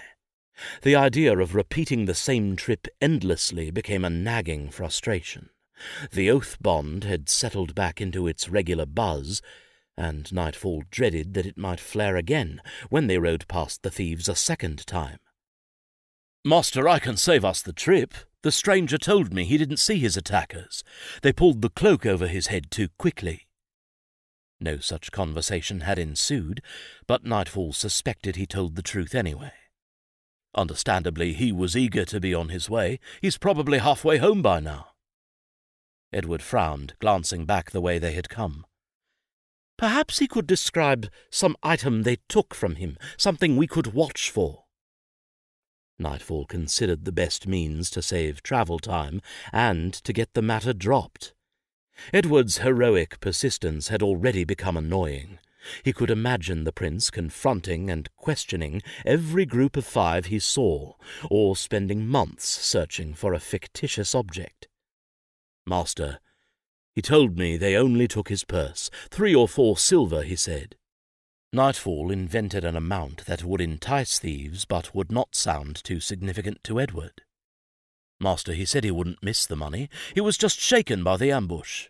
They didn't hurt him. Prince Edward's lower lip curled as Nightfall's discoveries strangled his options. We can't just let these beasts keep attacking honest people on the road. Nightfall made no reply. Edward had a cause to champion, and he clung to it the way a dog worries the last meat from a bone. The longer the discussion, the more the problem would grind at the young prince. Left alone to think, surely even he would realize no course remained to follow. Yet when it came to logical thought, Edward seemed the exception. Nightfall had originally believed much of the king's description of his son was exaggeration. Now it seemed more like understatement. No doubt Prince Edward would plunge them into trouble of a sort Nightfall was more accustomed to creating than solving. Worse, the best plans to rescue them from the situation might fail, because Edward seemed inclined to dodge around his own protections and deliberately take on the danger again. The prince sighed, reining his horse toward Nemex. For now, at least, he seemed to have dropped the affair. Nightfall would see to it that state of mind became permanent. Chapter 4 A demon cruel, a monster stark, Grim moonlight, coldness, deepest dark. Nightmares come to ones who doze In darkness where old nightfall goes. The Legend of Nightfall Nursery Rhyme, Stanza 4. Toward evening clouds scudded across the sky, muting it to steely grey. Prince Edward studied his squire. Where are you from, Sudian? Alendar, Nightfall replied easily. Edward's brow crinkled. That's odd. Suddenly alert, Nightfall feigned calm. Hmm? My father said you were from outside the country, that you knew some of the lands down south. Thanks, Ricard. Real subtle. Give me a history, but don't bother to tell me. He's right. Nightfall covered deftly, aside from forgetting the customary master. I was raised in Mitano, but I was born in Alendar. It was a lie. Nightfall's mother had worked and borne him in Keyvain, and he had lived his early childhood there. But he had enough knowledge of the other countries and cities to claim a youth in any of them. Oh. Prince Edward fingered the tightening scab on his face. Pinched creases appeared around his eyes. That's slave land. His voice filled with accusation. Did you ever keep slaves? Despite his composure, the question took Nightfall aback. Me keep slaves? I was lucky not to be one. He regained his respectful demeanour. Not wanting to talk about a past he would rather forget, Nightfall channeled the questions back towards subjects he knew Edward could not resist. Restoring Edward's attention to vast and vague principles would also direct him away from chasing unidentified highwaymen. Master, I understand that slavery is cruel. Forgive the question, but why do you hold this cause so important? Nightfall watched trees glide past on either side of the dusty roadway, knowing the threatening rain would soon turn the path to mud. Alendar doesn't have slavery, and surely you've never been kept. Prince Edward grimaced, pale eyes blazing. Anyone can champion a cause that's hurt him in the past, or one that makes his own life richer or easier. His gelding snagged a leafy branch, tearing it free. The wood swung from its mouth as it chewed. Every time my father makes a law or proposal, every noble has to consider how it will help him, forgetting that the Father and the lesser gods want us to help one another the way he helps us all. Edward leaned across the horse's neck and untangled the limb from its bit. Every life has equal value in the gods' eyes. There are no commoners on a baron's council. Who would speak for the slaves if I didn't? I don't know, master. Nightfall had to admit that Prince Edward had a point, albeit a childishly uninformed one. Beaten and worked, yes, but at least the slaves get fed, clothed, and sheltered. Let free, they'd starve or die at the hands of stronger survivors on the streets. The clouds bunched tighter, blotting evening into shadow. Holy beard of the father! Edward drew up his gelding. Nightfall had never heard Edward blaspheme before. Alarmed, he followed the prince's gaze to the chestnut pack horse. What's wrong, master? The spade. Edward clambered down from his saddle and headed for the pack horse. The spade is missing. For the last ten leagues at least. Respectfully, Nightfall dismounted also, trailing Prince Edward to the chestnut. For lack of anything better to say, he made a general noise of dismay. Edward examined the packs and the ropes, then the place at the top where the spade should sit. Nightfall held his breath, waiting for the prince to notice the numerous and sundry other missing items. Sudian, these knots are barely tight. We're lucky we didn't lose everything. Lightning flashed a zigzag path across the sky, followed by the raw boom of thunder. Luck, Nightfall thought, is a matter of opinion. I'm sorry, master. They must have worked loose while we rode. The first raindrops felt like cold pinpoints against Nightfall's scalp. Prince Edward hauled down the chestnut's packs. I don't believe this carelessness, He whirled on Nightfall. From now on, you're going to have to check the tires every time we stop. For now, there's only one thing to do. Push on to Nemex before we get drenched. Nightfall nodded his agreement. You're going to go back and find that spade. Edward dragged the heaviest pack toward a clearing beneath intertwined branches that blocked undergrowth and light. It would shield him from the rain as well. Go back? Nightfall's jaw sagged. For several moments he could not speak. This time no clever lies could save him, and annoyance got the best of him. Master Nemex is just ahead. If we push on, we could reach it tonight. Surely they have spades. Don't you think it would be wiser to spend a dry night there? Prince Edward dropped the pack. Sudian, I don't like your tone. And I don't like your person, but you don't see me sending you out in the rain to find a heavy tool we don't need. Wisely, Nightfall chose stony silence. And we already talked about questioning me. Don't. You got careless and it cost us the spade. He placed his hands on his hips as rain dropped from the heavens in a sudden barrage, drumming onto the umbrella of leaves. Accident or not, you need to learn from it. That's one of the reasons you're with me, you know. And I intend to be a good teacher. Surprised, Nightfall found himself without a reply. Is that what you were told? You're supposed to teach me? Teach me what? How to preach? How to infuriate my own relatives into sending me off on a fool's mission? How to build a camp for two using moats, palisades, and wooden stake defences? Apparently accepting Nightfall's silence as acquiescence, Prince Edward continued. I'll set up the camp while you're gone. Visions of a warm inn-room and ale floated from Nightfall's mind, leaving an aching aggravation in its wake. Thinking it better in his current mood to leave Edward and spend some time alone, Nightfall unfastened the pack from his mare and lowered it to the ground. Springing into the saddle, he headed back the way they had come. Even thieves are smart enough to stay in from the rain. Ned is safe from everyone but himself. He kicked the bay toward the open pathway. The horse shied from the pelting rain, then, at Nightfall's urging, lowered its head and braved the storm. Once beyond Prince Edward's hearing, Nightfall muttered a string of frustrated obscenities. He hunched into himself, trying to protect his face and chest from the damp. The wind turned each patch of wet clothing into icy misery, and the horse snorted its dissatisfaction with every step. I brought it on myself. Nightfall saw neither means nor reason to place the blame elsewhere.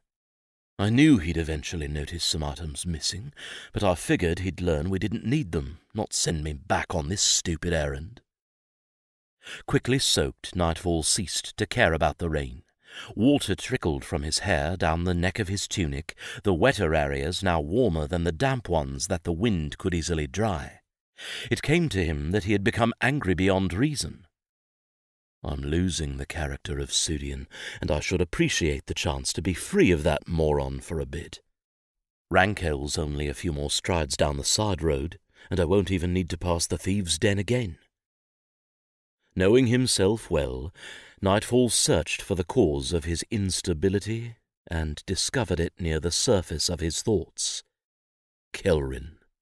He knew he would find her in the dance hall in Nemox, and the idea of her twirling and capering as if nothing had changed stoked his irritation into fury. Marek is dead, murdered by her betrayal. Yet for her, life simply goes on. He pictured her giggling in the arms of a young punk. The image would not come, and resentment faded with the failure. Whether I like it or not, Kelryn's got better taste than that. He sincerely believed that, despite the fact that she had been courted by the most notorious criminal in Nemox. Now he envisioned her with a handsome young courtier, anger freshly piqued by a picture that came easily. He recognized jealousy as the cause of the annoyance, and that flared his mood back to rage. Maybe this time she'll only take his money instead of his freedom and his life. Despite bitter thoughts, Nightfall could not help remembering small details. The way the dance hall lights sparked from hair white as an elder's, the time he had rasped the skin from his knuckles while sharpening a dagger, and she had dabbed at and bandaged the wound with a caring that could not have been feigned. The way just looking at her had sparked the need to protect her from the world's ugliness and pain. She betrayed me. Rage died, replaced by a grief that hollowed him to the core. I will kill her. The pronouncement brought the familiar calm that accompanied a finished and irrevocable decision. Nightfall headed toward Rankel, aware the steward's stolen coins would buy him good food, beer, and a warm night of rest. Thanks for the lesson, Ned. I feel wiser already. Nightfall returned late in the morning to find Prince Edward slumped over his pack. Alarmed, Nightfall crouched, gaze scanning the clearing for enemies or movement. A pile of partially burnt sticks lay heaped in the centre, all that remained of a poorly fashioned campfire. A sagging lean-to graced the opposite side of the meadow. Near it the horses grazed on leaves and vines. The previous night, while surrounded by inn walls, spiced food, and ale, Nightfall had briefly considered staying in Rankel. Then the oath bond had torn through his guts with a pain that doubled him, as if to split his physical body apart and scrape the soul from the deepest part of his being. He had stumbled from the tavern to vomit, vowing to return to Prince Edward until the agony subsided. Now the magic tingled, but he suffered none of the previous night's pain. If Edward is dead, at least the bond doesn't hold me responsible. Seeing no signs of a struggle and hearing nothing to indicate nearby interlopers, Nightfall approached the prince. As he came closer, he could tell Edward was breathing deeply and regularly, and he saw no evidence of wounds. A book lay pinned beneath Edward's arm, its opened pages crinkled. Nightfall studied the words, upside down and partially blocked by Edward's sleeve. For smaller camps, the great armies. Nightfall stopped reading. Quietly he walked to the lean-to. Finding the other packs protected by the canvas roof, he set to work preparing breakfast and getting ready for another day of travel. I wonder how long he stayed awake trying to build the fortress this time. Nightfall shook his head. Much as I hate to admit it, the young fool means well, and I have to give him credit for stamina. For a pampered prince, he handles pain and work better than I ever expected. Finished with the food and packs, Nightfall rearranged the wood into an efficient pattern, placed the frog candle stolen from the steward amid the sticks, and lit it with the steward's tinder box. As the wax melted, the fire roared to life. Nightfall turned his attention to Prince Edward, sprawled over his pack, muscled limbs still and hair covering his face like a golden veil. He sleeps like a dead man, and in these parts there's a fine gap between sleeping like one and becoming one. Master? he called tentatively. When Prince Edward did not respond, Nightfall came directly beside him. Master! Edward did not stir. Nightfall prodded Edward's belly with the toe of one boot. Master, wake up! Edward made a raucous noise, then dropped back to sleep. Oh, for the sake of the gods! Exasperated, Nightfall backed away. He hefted a rock, studied Edward, then wisely exchanged the stone for a pine cone. Lobbing it in a gentle arc, he let it fall onto the prince's face. Prince Edward jerked, opened his eyes, and sat up. He scratched at the cheek where the pine cone had landed, then traced the route of the object from his face to where it lay in the grass. He looked up into the tree that must have dropped it, frowning. Nightfall thought it best to distract Edward before his sleep-numbed mind worked through the realization that pine cones do not fall in the spring. Master, breakfast is ready. Sudian, the prince rose with a swiftness that had to aggravate sinews cramped from his awkward position as well as the riding soreness. How long have you been back? Not long. Nightfall simulated the clumsiness that accompanies fatigue. I retraced our steps as far as I could. And? Prince Edward covered a yawn, his eyes bloodshot with exhaustion. His gaze found and locked on the crumpled book. I didn't find the spade. Edward scooped the book into his lap, watching nightfall grimly. I think a bear must have eaten it, Master. A bear? Prince Edward studied Nightfall dubiously, as if to figure out whether he was being mocked. Bears eat meat. Nightfall kept a sincere expression on his face. I've seen them chew branches and eat berries, master. I thought they might eat spade handles too. Thoughtfully, Edward smoothed the wrinkled page, then leafed through, presumably seeking details about the eating habits of bears. Nightfall turned back to the fire to hide his jaded grin. I'll bet nobles can't shit without looking up how some great king or general used to do it. Gathering the first of the packs, he headed for the horses, his thoughts shifting toward the coming journey. Nemox by midday, and either Kelryn or I won't live to see the dawn. Prince Edward Nargol and Nightfall reached the city of Nemox in late morning. Mud sucked at the horses' hooves, and the white gelding pranced around puddles, spooking the pack horse behind it. Edward steadied it with weight shifts and tugs on the reins, but even he seemed to be wearying of the constant struggle with a poorly trained horse. Cottages lined Nemox's earthen roadways, unevenly spaced and diversely built. Obviously, homes had been squeezed between existing dwellings as the city grew. Stone walkways fringed the streets, and people whisked about their business on these, avoiding the rain-muddied paths. A few stopped to stare at the radiant, if tired, prince and his single escort in Alendar's colours. Travellers came often to the city bearing trade goods or wearing weapons and odd clothing, but royalty was scarce anywhere. And though he displayed no sigil and rode with no armies, Ned's beauty and bearing proclaimed his nobility as surely as if he had announced it. Nightfall traversed the familiar roadways with trepidation. Riding through Marax city as Sudian felt wrong, like invading a rival's territory or committing a crime in the name of honest Bolshaz instead of Nightfall. The feeling was compounded by Prince Edward's tendency to keep heading toward the scummier side of town, despite Nightfall's subtle attempts to change direction. At length, tired of riding in zigzags, Prince Edward drew up before a cottage. A woman chased a pig from the doorway with a broom, and the squealing animal disrupted a flock of chickens pecking seeds between stones in the walkway. The birds erupted into a flapping, clucking disarray. Startled, Prince Edward's horse whipped into a rear, twisting in midair to bolt back the way it had come. For an instant Edward teetered. Then his arms flailed in the air, and he fell gracelessly into a puddle. Breath hissed between his teeth.